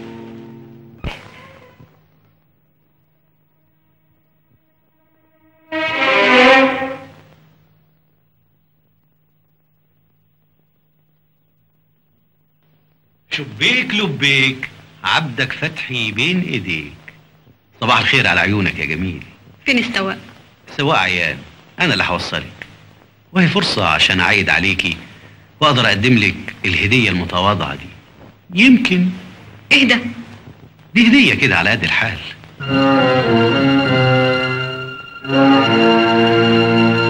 أستاذ فتحي. ده النبي قبل الهدية. السلام عليكم. مؤاخذة اتفضل يا ست إيمان.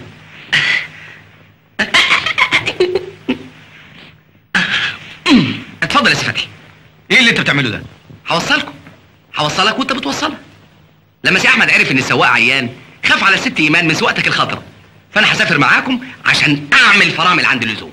اتفضل.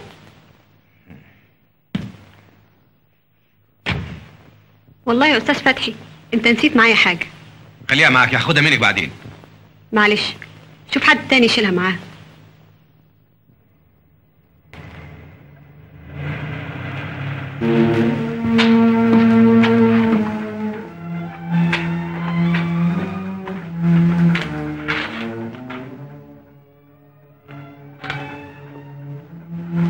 تفتكر إيه اللي أخرهم كده عن منصور؟ يا ابني الغايب حجته معاه وأنت عارف مصر وزحمة وقفة العيد هي الساعة كام دلوقتي؟ الساعة دلوقتي بقت اهي 11 وخمسة. هي قالت إنها راجعة المغرب. هو المغرب اليومين دول على كام؟ على خمسة وربع. يعني اتأخرت ست ساعات. يبقى لازم في حاجة. اسمع يا عم منصور. أفندم. أنا قاعد محبوس في الأوضة دي ومش عارف إيه اللي بيحصل بره. ما هو فتحي بيه معاها. هو مخوفني غير إن فتحي وياها. قصدي سواقته يعني. هي الساعة بقت كام؟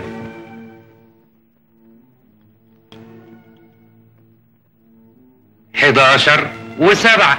أنا قاعد والزمن بيجري هات البلطو يا عم منصور. دي على فين يا فندم؟ ما أعرفش. المهم أتحرك من العزبة أعمل أي حاجة. أدور عليهم. كفاية الوقت اللي ضيعته. الحمد لله أهم وصلوا لازم أحاسب فتحي وعبد المعطي حساب عسير على التأخير ده. يا أحمد في إيه؟ إيمان ما جاتش معاهم؟ لا دي مش عربيتنا دي عربية الري جايبة المهندس بتاع المناوبة. تفتكر جرالهم إيه؟ أنا حاسس إن العواقب سليمة إن شاء الله. بس ربنا بيمتحن اللي في قلبك. قلبي؟ ماله قلبي؟ اللي في قلبك ما ظهر وبان وعليه الأمان. هو أنت تعرف تخبي حاجة؟ طول عمرك اللي في قلبك على لسانك. بس ما كنتش فاكر إن فراق يوم واحد يعمل فيك كده. فراق؟ فراق إيه؟ آه، فراق عبد المعطي وفتحي طبعا. أمال هيكون فراق مين؟ دول لازم هم.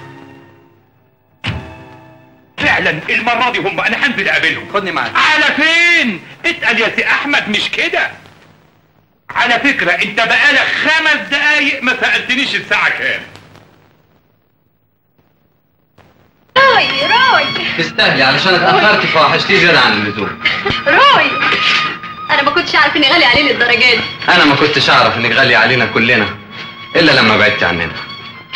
الحمد لله على السلامة يا إيمان. الله يسلمك. إيه اللي أخرك كده؟ غصب عني. اليوم كله ضاع وأنا بدور على دادا حليمة. وفي الآخر ما لقيتهاش. ما تصورش قد إيه أنا قلقانة عليها. ما تشغليش بالك. بكرة أبعت أسألك عليها في مصر. وط... العموم دي آخر مرة تنزلي فيها مصر لوحدك وتسيبيني. وتسيبينا هنا نستناكي يعني لو كنت عرضت عليك إنك تيجي معايا كنت رضيت؟ الفراغ اللي حسيت اللي حسينا بيه وانت مسافرة يخليني أرضى. اسمح لي اولع لك عشان تحرقي صوابعك تاني؟ لا لك هدية معايا. توفر لك الكبريت وترحمني من النار. ولاعه ممكن تقبلها مني؟ أنا من سنين طويلة محدش قدم لي هدية.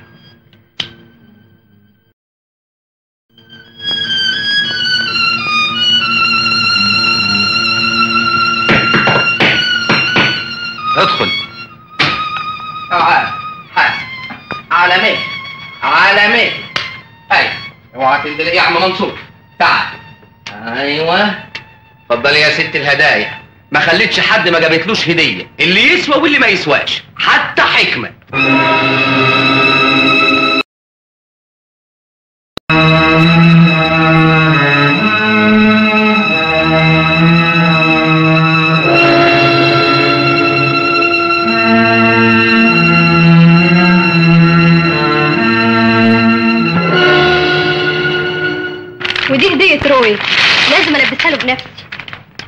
حتة طوق الله شكلك بقى فرايحي قوي يا روي.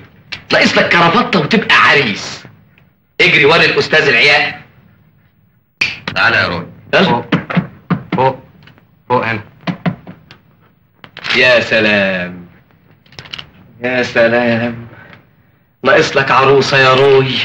عروسة طيبة وحلوة ومثقفة وبنت ناس. عروسة كلها كلها رقة ووداعة وحنية. والله انت بتتكلم بلسان يا عبد المعطي. آه آه. يا ما نفسي أفرح بيك يا روي. يا ما نفسي أسقي بإيديا دول شربات في فرحك يا روي. أنتوا بتتكلموا تقولوا إيه؟ ولا حاجة إحنا بندم في مالطا. يلا بينا يا عم منصور. عقبال يا رب عقبال! وانت يا إيمان؟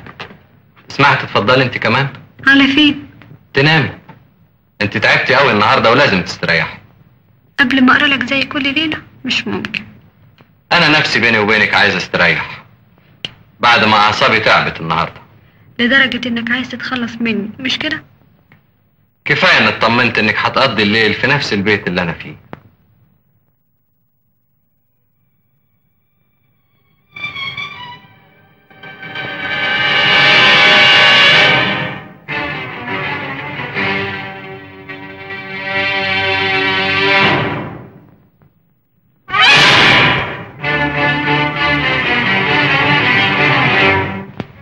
مادام مصمم أستأذن. تصبح على خير. وأنت من أهل الخير يا إيمان. إيه يا روي يظهر ان وحشتك فعلا عشان مش عايز تسيبني اخرج إذا كانت صحيح وحشتك يا روي سيبها تستريح. اللي يعز واحد ما يتعبوش. تصبح على خير. وأنت من أهله.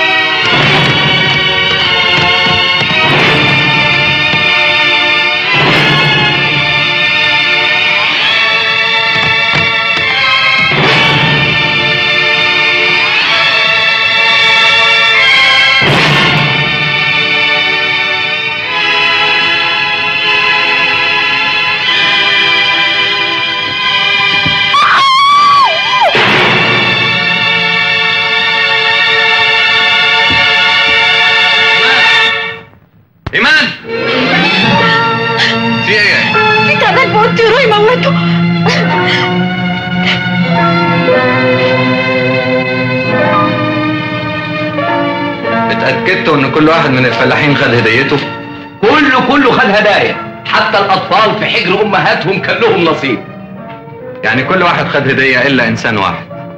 أنت يا إيمان أهديتي الكل وجاه دورك. أنا هديتي الحقيقية إن احس ان كل اللي حواليا سعداء. على العموم أنا فكرت بطريقتي الخاصة وجبت لك هدية.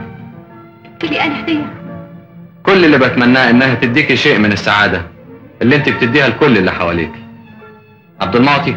شبيك لبيك عبد المعطي بين إيديك.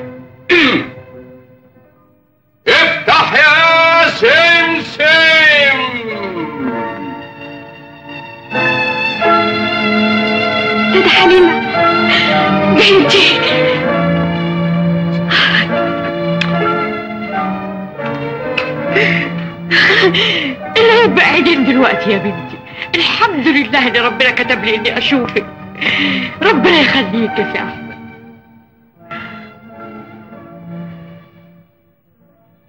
أحمد. أحمد. أنت إنسان كبير قوي يا أحمد. أنا مش عارفة مش عارفة أشكرك إزاي. إيمان. إيه ده يا إيمان؟ ربنا يصونك يا ابني ويحميك لشبابك والله أنا كنت بدعي لك من ساعة ما بعت لي المرسال في مصر. حسيت إن الدنيا بخير صحيح. اسمعي يا إيمان. لازم عندك أنت ودادا حليمة كلام كتير عايزين تقولوه. خدي دادا وتفضلوا استريحوا شوية مش عايزني في حاجة دلوقتي؟ أنت عارفة أنا ما استغناش عنك ابدا. أنا هبقى ابعتلك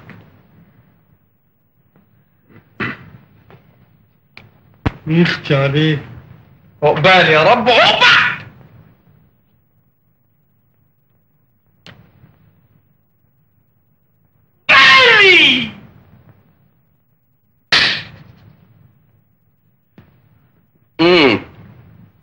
مش آه، يصح برضو اني أكون أول واحد يعرف ميعاد الفرح؟ فرح؟ إيه؟ إيه؟ الحكاية ما بقتش سر ده النهارده الصبح الفلاحين بقت تقول للست إيمان عقبال ما نهديكوا يوم فرحكم. يوم فرحنا. أيوه فرحك أنت وإيمان.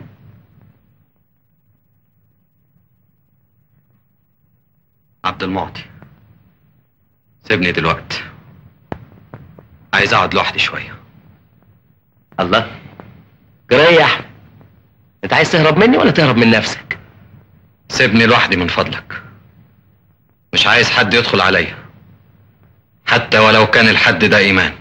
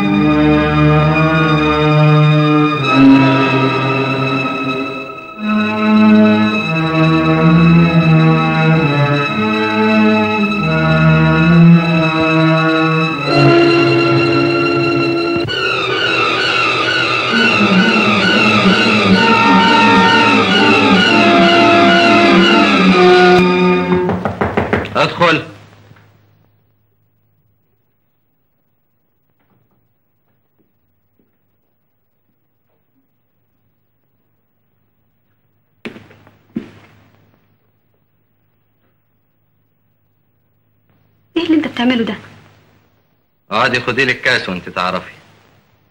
أحمد. أرجوكي.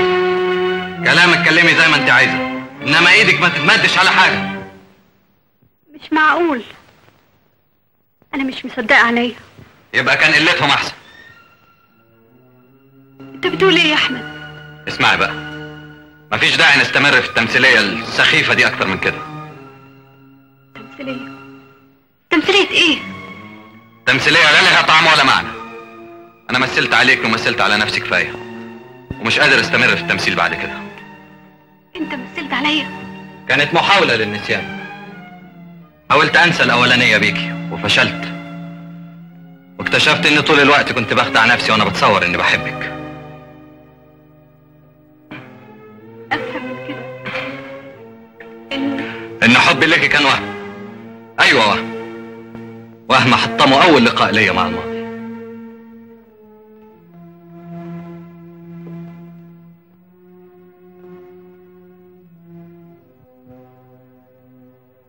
أنت أنت قابلتها فين؟ النهاردة جالي منها معايدة رقيقة وسؤال. عايزة تعرف إذا حبت إنها ترجع لي بعد ما غرر بيها اللي خانتني معاه ورفض يتجوزها. أقبل. يعني يعني هترجع لها أفتكر الجواب واضح. الجواب إن كل حياتي وعذابي كان مجرد فترة انتظار. انتظار لإشارة واحدة منها. المرسال اللي جه بدادا حليمة رجعت تاني مصر تقول لسعاد إن روحي رجعت لي بجوابها.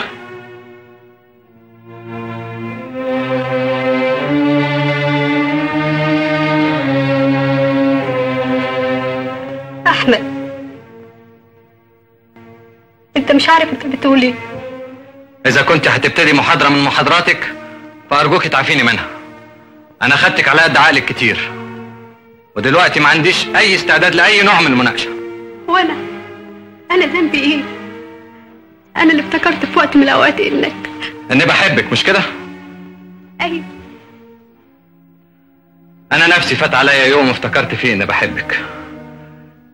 على طريقة وداويني بالتي كانت هي الداء زي الطفل لما تنكسر منه لعبة يقوموا يجيبوا له لعبة جديدة. وكنت أنا لعبتك الجديدة. مش كده؟ على كل حال احمدي ربنا إن صارحتك بالحقيقة كلها قبل ما تنكسر اللعبة. أنت متأكد إن اللعبة ما اتكسرتش انكسرت ما انكسرتش. أنا مفيش حاجة عندي ببلاش. أنا حطيت 500 جنيه في البنك باسمك 500 جنيه يا بلاش.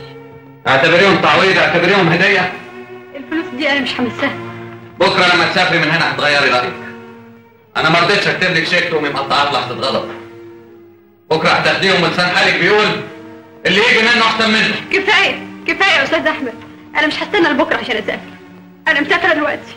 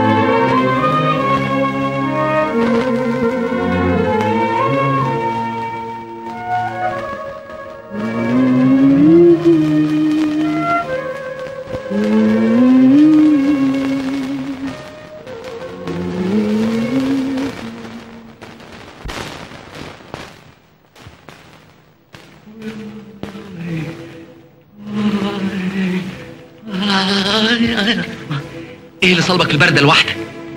آه لازم الحب. الحب هو اللي قايد في قلبك ومخليك مش حاسس بالسقعة. خليهم يجهزوا العربية عشان تنزل بإيمان ودادتها مصر. آه. العروسة نازلة مصر عشان تجهز ولازم منه. عقبالي يا رب عقبالي. إيمان ماشية من العزبة خالص يا عم عاطي مهمتها انتهت. ومش هترجع تاني أبدا لأي سبب من الأسباب. كده انكم مش هتتجوزوا؟ انت بتخرف تقول إيه؟ أنا اتجوز ايمان. ليه لا؟ مش قد المقام ولا إيه؟ ما تظلمنيش يا عبد المعطي أنا هفهمك الحكاية وهتعرف ان عندي حق. الحكاية باينة زي الشمس. حضرتك خليت البنت تحبك وبعدين عايز تهرب منها بصنعة لطافة. أنا مش بهرب. أنا بفرج عن إيمان؟ حياة النبي يا شيخ تكلمني عربي. ايمان اكرمتني وادتني سنة من أجمل سنين عمرها وعمري. مش معقول أطلب منها إنها تقضي بقية حياتها مع بقايا إنسان. مش معقول ده يكون جزائها. أنت أنت قلت الكلام ده لإيمان؟ لا. طب ما سألتهاش رأيها؟ برضه لا. ليه؟ لأني زهقت. زهقت أعيش عالة على تضحيات كفاية أنا كنت حاجني على أمي وأنا مش دريان أنا مش عايز المأساة دي تتكرر. مع الإنسانة الوحيدة اللي شاركت أمي في قلبي. طب أقنعت إيمان إنها تسيبك إزاي؟ اخترعت لها حكاية طويلة عريضة. أقنعتها اني كنت بلعب بعواطفها طول الوقت. وصدقتك؟ يظهر إني كمؤلف لسه ما صدتش. ثم بعد كل ده أنا أرفض أدخل قلبها من باب الشفقة. إذا كنت أنت يا أحمد يا عاصم ما قدرتش تفرق بين الحب والشفقة في عاطفه إيمان يبقى اسمح لي أقول لك إنك إنك. أعمى. مش كده يا عم معطي الإنسان مش محتاج لعينين علشان يقدر يعرف بيهم الحب من عدمه يا أحمد. الإنسان محتاج هنا القلب قلب بس. روح لها يا ام معطي وخليك معاها لغاية ما توصلها مصر. بس ارجوك ما تجيبلهاش سيره أنا شايف إن ده الحل الوحيد. عم معطي ها؟ أوعدني. أوعدك بإيه؟ إنك ما تجيبلهاش سيرة الحقيقة. آه طبعا طبعا. ودي تيجي؟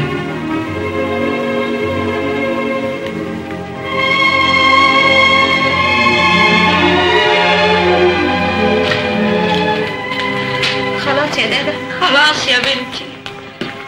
إيه هو اللي خلاص؟ فك الشنط انت وهي ورجعي كل حاجة مطرحها صاحب البيت هو اللي أمر بكده. هو اللي مش عايزني. امم وصدقتيه؟ وإيه اللي هيخليه يكذب أنا أقول لك إيه اللي هيخليه يكذب انت قبل عارفة معزتك عندي قد إيه. اذا تعالي معايا سكتم بكتم. يعني من سكات. وهخليك تشوفي بعينك وتسمعي بودنك. تعالي تعالي. أنا عبد المعطي الثاني عشر. ابن عبد المعطي الخ الخ الخ الخ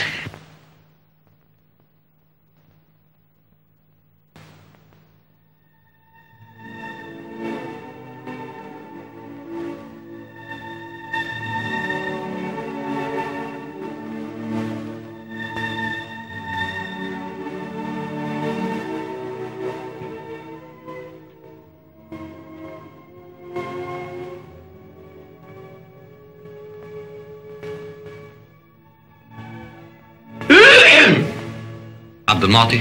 أيوه يا استاذنا خلاص ماشيين. خلاص. إيمان ما قالتلكش حاجة؟ زي؟ إنها بتكرهني بتحقد عليا. ابدا. ما كانش باين عليها الزعل الألم. بتاتا. مش معقول. ليه بقى؟ كنت فاكر إنها بتتعذب زي ما أنا بتعذب. وأنت أنت عايزها تعذب ليه؟ أنا لسه كان عندي أمل بعد كل اللي جرى.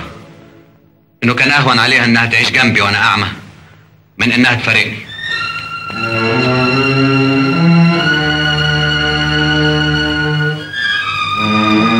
وليه ده ما يكونش حقيقة شعورها وانت جنيت عليها وانت مش دريان. أنا طعنت روحي بنفس السلاح اللي طعنتها بيه عبد المعطي. محدش يا أستاذ كان ضربك على إيدك.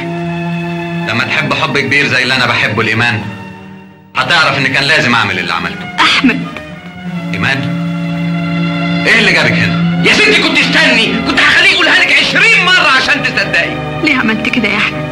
إزاي ما قدرتش تعرف إني بحبك؟ إزاي ما حسيتش إنك كل أمل ليا في الدنيا؟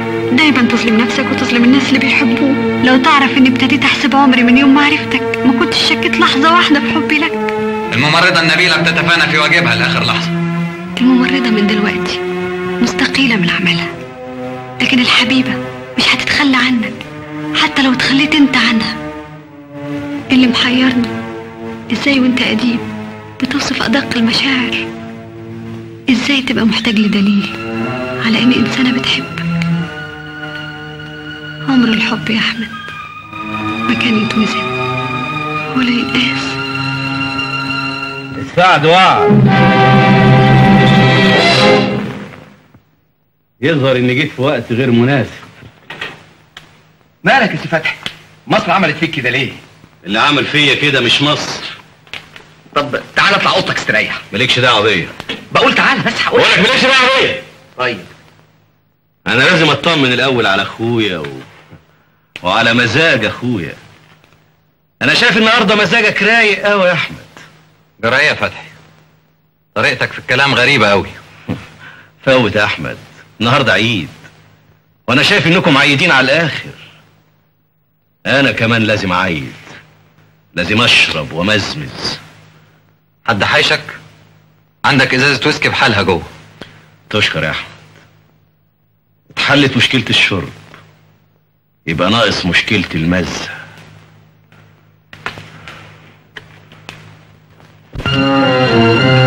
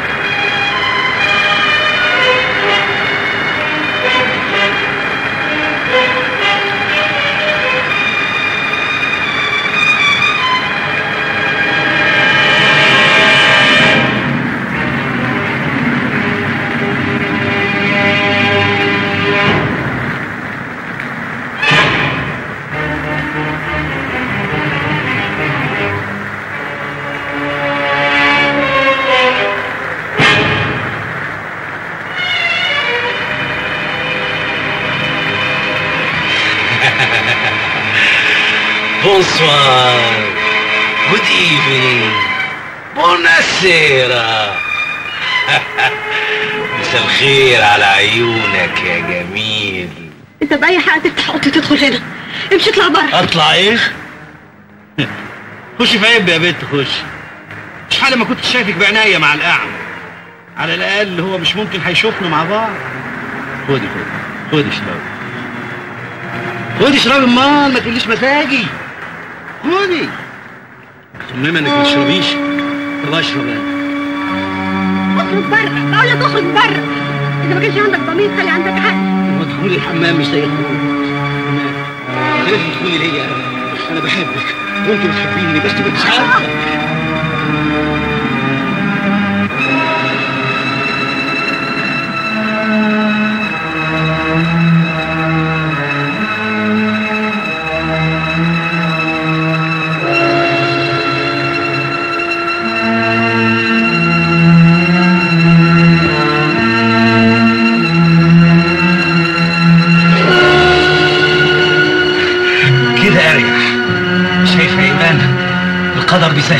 بيسهل لنا المسائل إزاي آه. الظاهر مش هتيجي إلا بالعافية. ما هو تصوتي تصرخي. هتروحي مني فين؟ ما هو مش هتفلتي من إيدي ابدا. لو تقدمت مني خطوة. هتعملي إيه؟ إيه ده يا شطر؟ اطلع بره احسن تعالي أنت احسن لك أنا ما حدش يعصى عليا ابدا.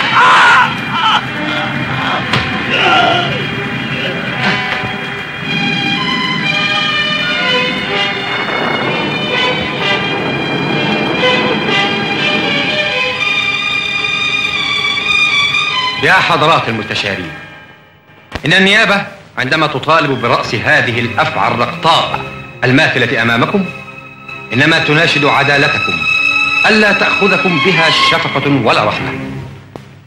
إن هذه القاتلة الأثيمة التي تتوارى وراء قناع من دموع التماسيح قد رسمت خطتها الجهنمية بدهاء لا يبارى وببرود أعصاب ينم عن قسوة تكاد ترقى إلى مرتبة الاحتراف. فلقد كان القتيل البريء هو العين الساهرة على مصالح شقيقه الكفيف والعقبة الكؤود في نظرها دون السيطرة عليه ونهب مصالحه. فلما خابت آمال القاتلة الباغية في الاستيلاء على قلبه استدرجته إلى مقدم ثم دبرت أمر قطع التيار الكهربائي عن القصر كله.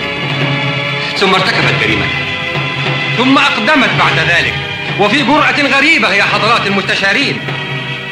على الصراخ والولولة للتمويه على العدالة وتضليل العدالة. ولكن ولكن يا حضرات المستشارين هل تستطيع الدموع أن تصمد أمام الدليل الدامغ الماثل في السيخ الذي ارتكبت به جريمتها؟ فانطبعت عليه بصماتها وغمس في دماء ضحيتها؟ يا حضرات المستشارين إنني أترك لكم هذا الدليل المادي الذي ضبط في مكان الجريمة ليتحدث إليكم بأبلغ مما تتحدث به الكلمات فليكن حكمكم درسا رادعا لكل من تحدثه نفسه بالاعتداء على الأرواح البريئة الآمنة. ولكم في القصاص حياة يا أولي الألباب.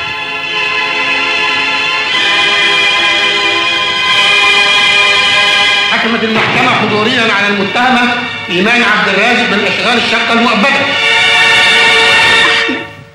إيمان. أحمد. أحمد أحمد أحمد أحمد أحمد كان لازم تبعت لي من ساعتها أنت حرمتني إني أقف جنبك وجنبها. أنا لآخر لحظة ما كنتش فقدت الأمل في إنها هتطلع بريئة. ما خطرش على بالي ابدا إن هخرج من المحكمة من غيرها. آه الله يرحمه. كان مؤذي وهو حي ومؤذي جدا وهو ميت. أنا لو يحكموني كنت اديتها مكافأة عشان قتلته مش تأبيدة. حتى أنت يا عبد المعطي بتعتقد إن إيمان قتلت فتحي. وفيها إيه؟ واحد حاول يعتدي على شرفها اضطرت إنها تموته عشان تحمي نفسها. أي حد أي حد إلا إيمان. لو كان اللي قتل فتحي لازم يكون واحد من اتنين أنا أو إيمان. فتأكد يا عبد المعطي إنه أنا. اللي قتل فتحي يا ماما واحد من البيت. واحد مننا. وهو بيسخر في قرارة نفسه دلوقتي مني ومنكم. وأنا قاعد عاجز. مش قادر أعمل حاجة غير ان أتكلم وأتكلم وأقول مش معقول مش معقول مش معقول لغاية ما أتجنن. مش كده يا أحمد. ارحم نفسك. مش قبل ما القى الحقيقة. كل دقيقة بتمر علينا قبل ما نعرف الحقيقة. بتدفعها إيمان من عمرها في السجن. القاتل من هنا. قولوا لي مين ما كانش بيكره فتحي. قولوا لي مين ما بيعتبرش إن نهايته دي كانت تمن طبيعي لاعماله وتصرفاته. قولوا لي مين ما عندوش أكتر من سبب يدفعه للتخلص من فتحي.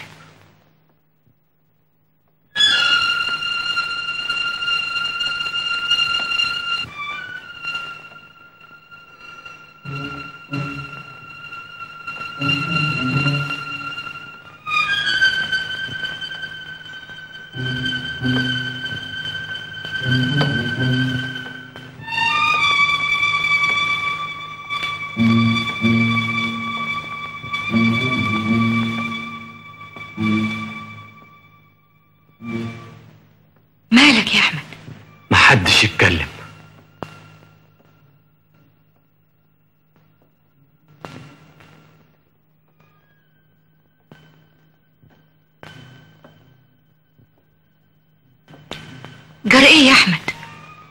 بتتصنت على إيه؟ في حد كان بيحاول يسمعنا. وكلامكم نبهه فمشي سمعتوا الخطوات؟ ابدا يا ابني. لا في لا خطوات ولا يحزنون. أنا متأكد من اللي بقوله. ودي مش أول مرة أسمع فيها صوت الرجلين اللي بتمشي دي. أنا من ساعة ما رجعت العزبة وأنا حاسس إن في حد بيراقبني. وبيعد عليا حركاتي وتصرفاتي.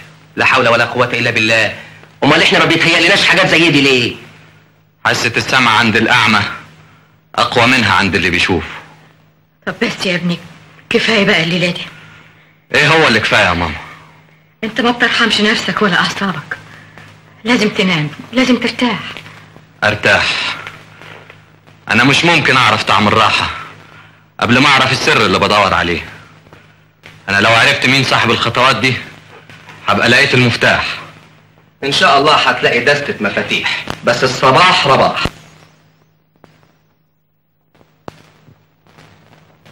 يا أستاذ.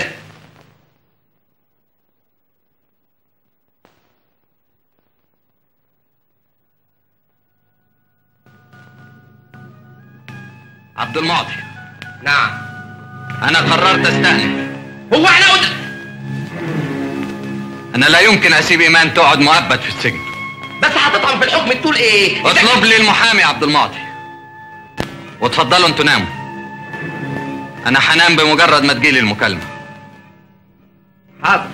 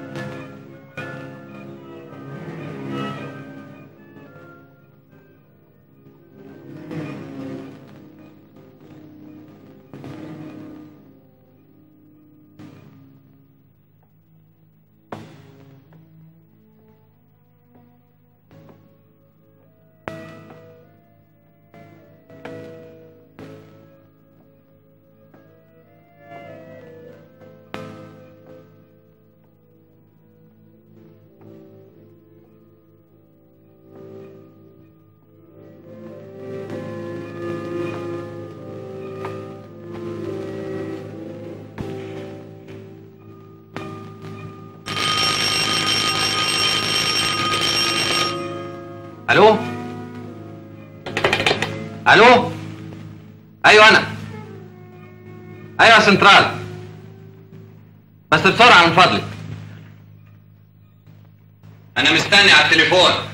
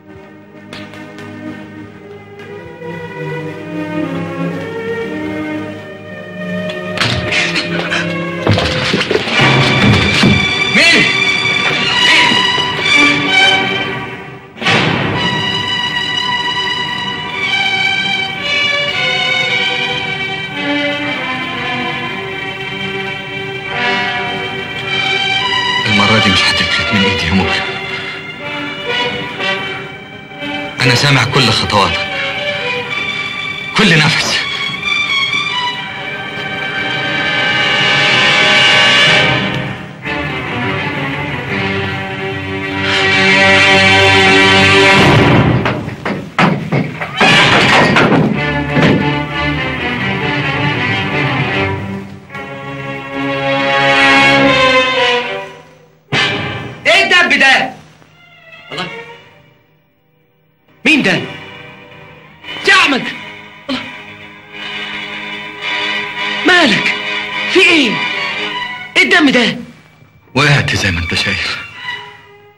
بعد ما كان بيني وبين المجرم خطوات. تاني. هات إيدك هات. انت مش هتبطل حكاية ابو خطوة اللي بيمشي بالليل ده؟ تعال تعال. يا منصور يا عبد المعطي حصل إيه؟ الله أحمد مالك يا ابني؟ ما تخافيش يا ست ده جرح بسيط. راسه مصفحة ما تتكسرش بسهولة. تعال تعال يا أحمد تعال خش على أوضتك.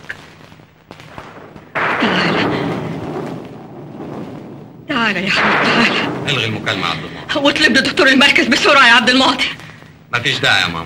رجعت مصر بصت إزاي؟ هات لي قطنة وسبرتو يا عبد المعطي ألو؟ ألغي المكالمة يا عبد الرسول. أيوه ألغيها. تصبح على خير. أنا خلاص كنت همسك المجرم الحقيقي. كنت سامع أنفاسه. دقات قلبه. لكن مصيبتي عماية ده اللي خلاه يفلت من إيدي. أنا عمري يا ربي ما كنت محتاج له النور في عينيا زي النهارده. أنا مش محتاج له علشان أشوف أي حاجة. مش محتاج له علشان أشوف حتى إيمان. أنا محتاج له علشان أشوف الإيد اللي قتلت. وسابت إيمان تدفع تمن جريمة ما ارتكبتهاش. وبعدها احرمني تاني من عينيا. من حياتي. سيبيني يا ماما اتكلم زي ما أنا عايز.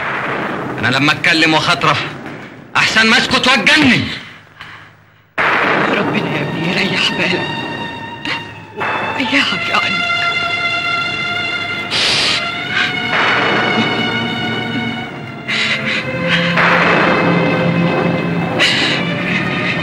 يا بل هداهم مني؟ من قلب عمره فأت الأمل ولا الإيمان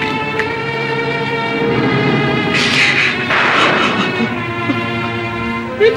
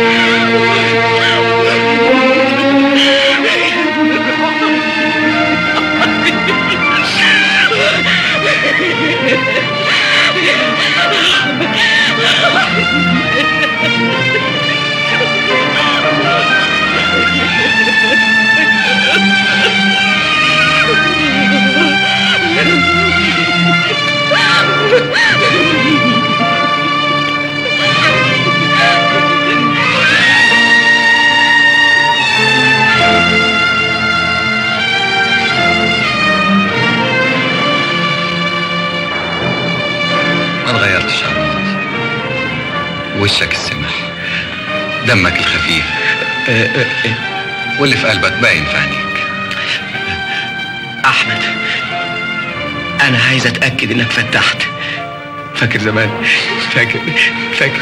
يلا يلا.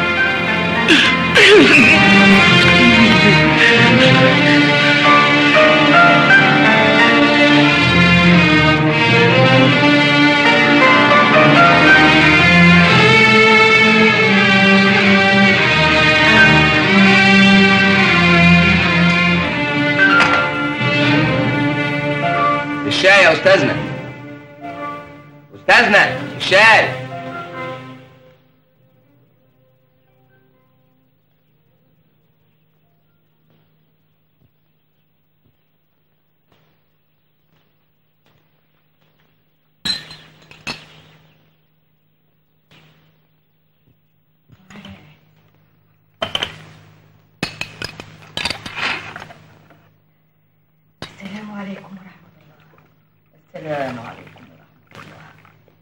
حرما يا ماما.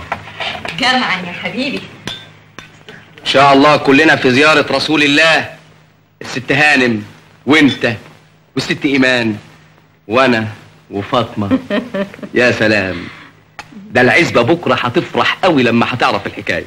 إذا العزبة عرفت يا عبد المعطي إيمان مش هنكتب لها ابدا إنها تكون معانا. إزاي بقى؟ دي جامدة عليا شوية. أنا فكرت كتير ولقيت حل يمكن يساعدنا إيه؟ مش لازم حد يعرف إني فتحت. ده لازم يفضل سر بيننا إحنا التلاتة. حد يقدر يكتم فرحة زي اللي في قلبه يا ابني؟ يا ماما المجرم اللي بيتجسس عليا لو عرف إني فتحت هيبطل يتجسس عليا. لكن إذا كان معتقد إني لسه أعمى هيتخلى عن الاحتياط. وفي الحالة دي مش هيفلت من إيدي. لأني هشوفه وأعرفه. خدتي بالك أنا أقصد إيه يا ماما؟ أيوه يا عشان كده ارجوكوا مش عايز حد يعرف ابدا إني بقيت أشوف تاني. أمرك. اللي تشوف انه مصلحة يعمله يا أحمد. ماما؟ انت تعبتي معانا وما نمتيش طول الليل. اتفضلي استريح انت. لحقت زهقت مني يا ابني ابدا يا ماما بس أنا لازم أخرج دلوقتي. تخرج دلوقتي تروح فين؟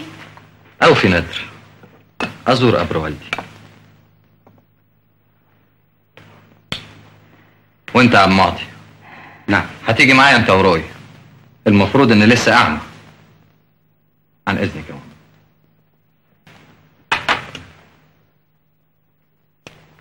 ربنا يوفقك لما فيه الخير يا أحمد. أنا رأيي إن إيمان لازم تعرف إنك بقيت تشوف يا أحمد. لازم تسافر لها. ده هيخليها ما تشعرش بعذاب السجن ولا بعذاب الظلم. أنا مش هتنقل من هنا قبل ما اكتشف الشخص اللي بيراقبني. طب افرض ما اكتشفتوش. يبقى مش هسافر أشوف إيمان. والله أمرك عجيب يا أحمد. أنا ما أقدرش أول مرة أشوفها. أشوفها سجينة ورا القضبان طب ممكن أروح أزورها أنا والست الكبيرة وناخد لها روي معانا ونفرحها بخبر إن ربنا شفاك؟ زي ما عجبك. طب تسمح تمد بقى عشان نلحق نرجع لك قبل آخر النهار روي! روي! روي! روي بيعمل إيه؟ روي. روي. غريب. هو بيشحت في الأرض كده ليه؟ الأغرب إنك بتندهله وما بيجيش. لازم في حاجة. إيه ده؟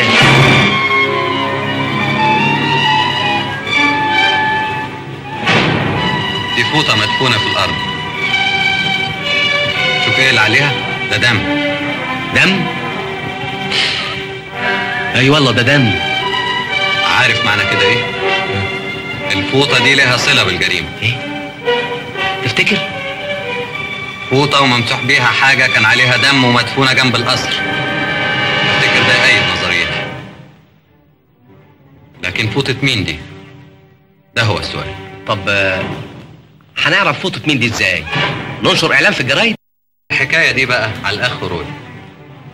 إحنا هنرجع روي لماضيه. أيام ما كانت صور واخبار وماليه الجرايد. روي ممكن يوصلنا لصاحب الفوطة. قصدك يشم الفوطة ويدلنا على صاحبها؟ أيوه. طب ما هو بالشكل ده ممكن يقفشنا انا لنا اللي ماسك الفوطة؟ لا. إحنا هنخبي الفوطة في مكان بعيد عن القصر أيوه. أنت مثلا تروح بيها مشوار لغاية أبو حمص. أيوه. وفي الحالة دي روي هياخدنا لصاحبها الاصلي آه. لأنه هيروح على أقرب حاجة فيها ريحة الفوطة. آه. يلا يا عبد المعطي يلا. يلا.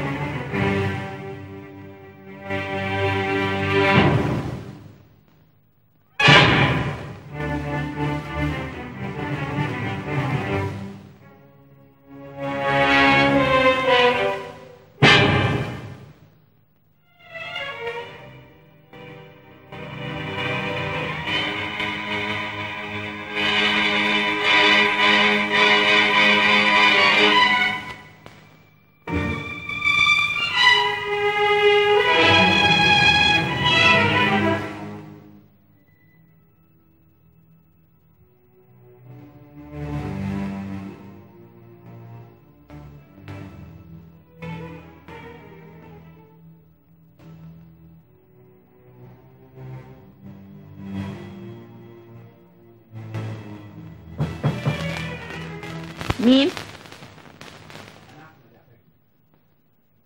أحمد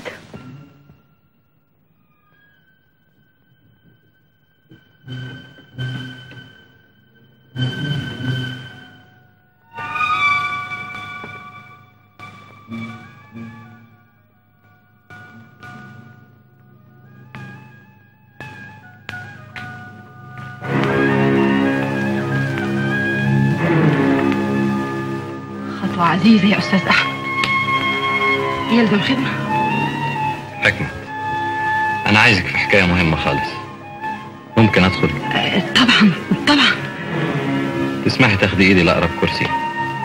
أنا أصلي عمري ما دخلت أوضتك. اتفضل.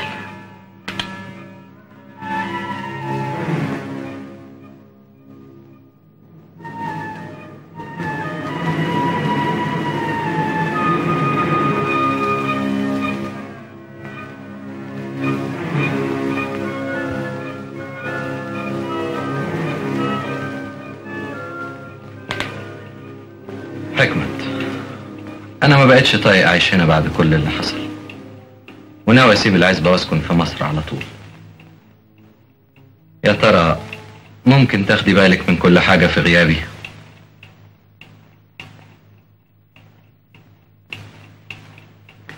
لك حق يا أستاذ أحمد. فعلا. العيشة هنا بقت وحشة قوي. بعد صعبان عليكي اللي جرى الفتحي.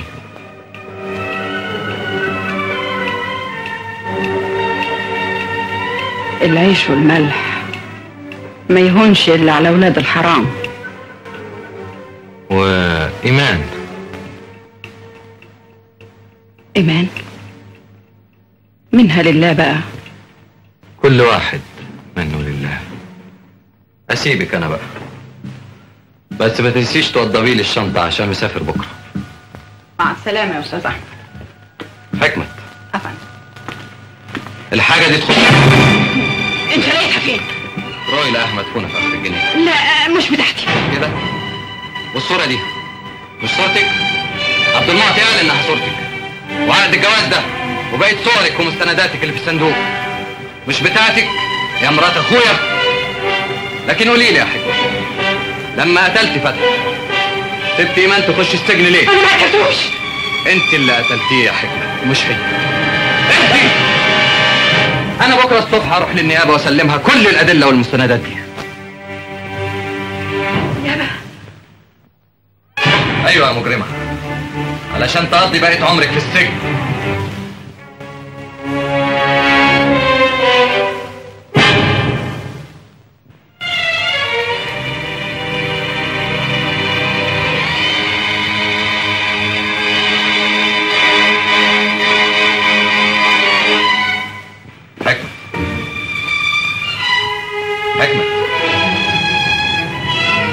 ما بترديش ليه؟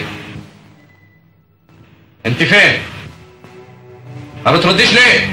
هرد عليك حالا يا أستاذ أحمد. أنا لازم أعيش. لازم أعيش عشان ابني. ابني اللي ملوش حد غيري. أنا قتلت أخوك علشان خاطره. وهقتلك أنت كمان يا ده هو ده الشيخ اللي قتلت بيه يا حكمة خدوا عليه لا!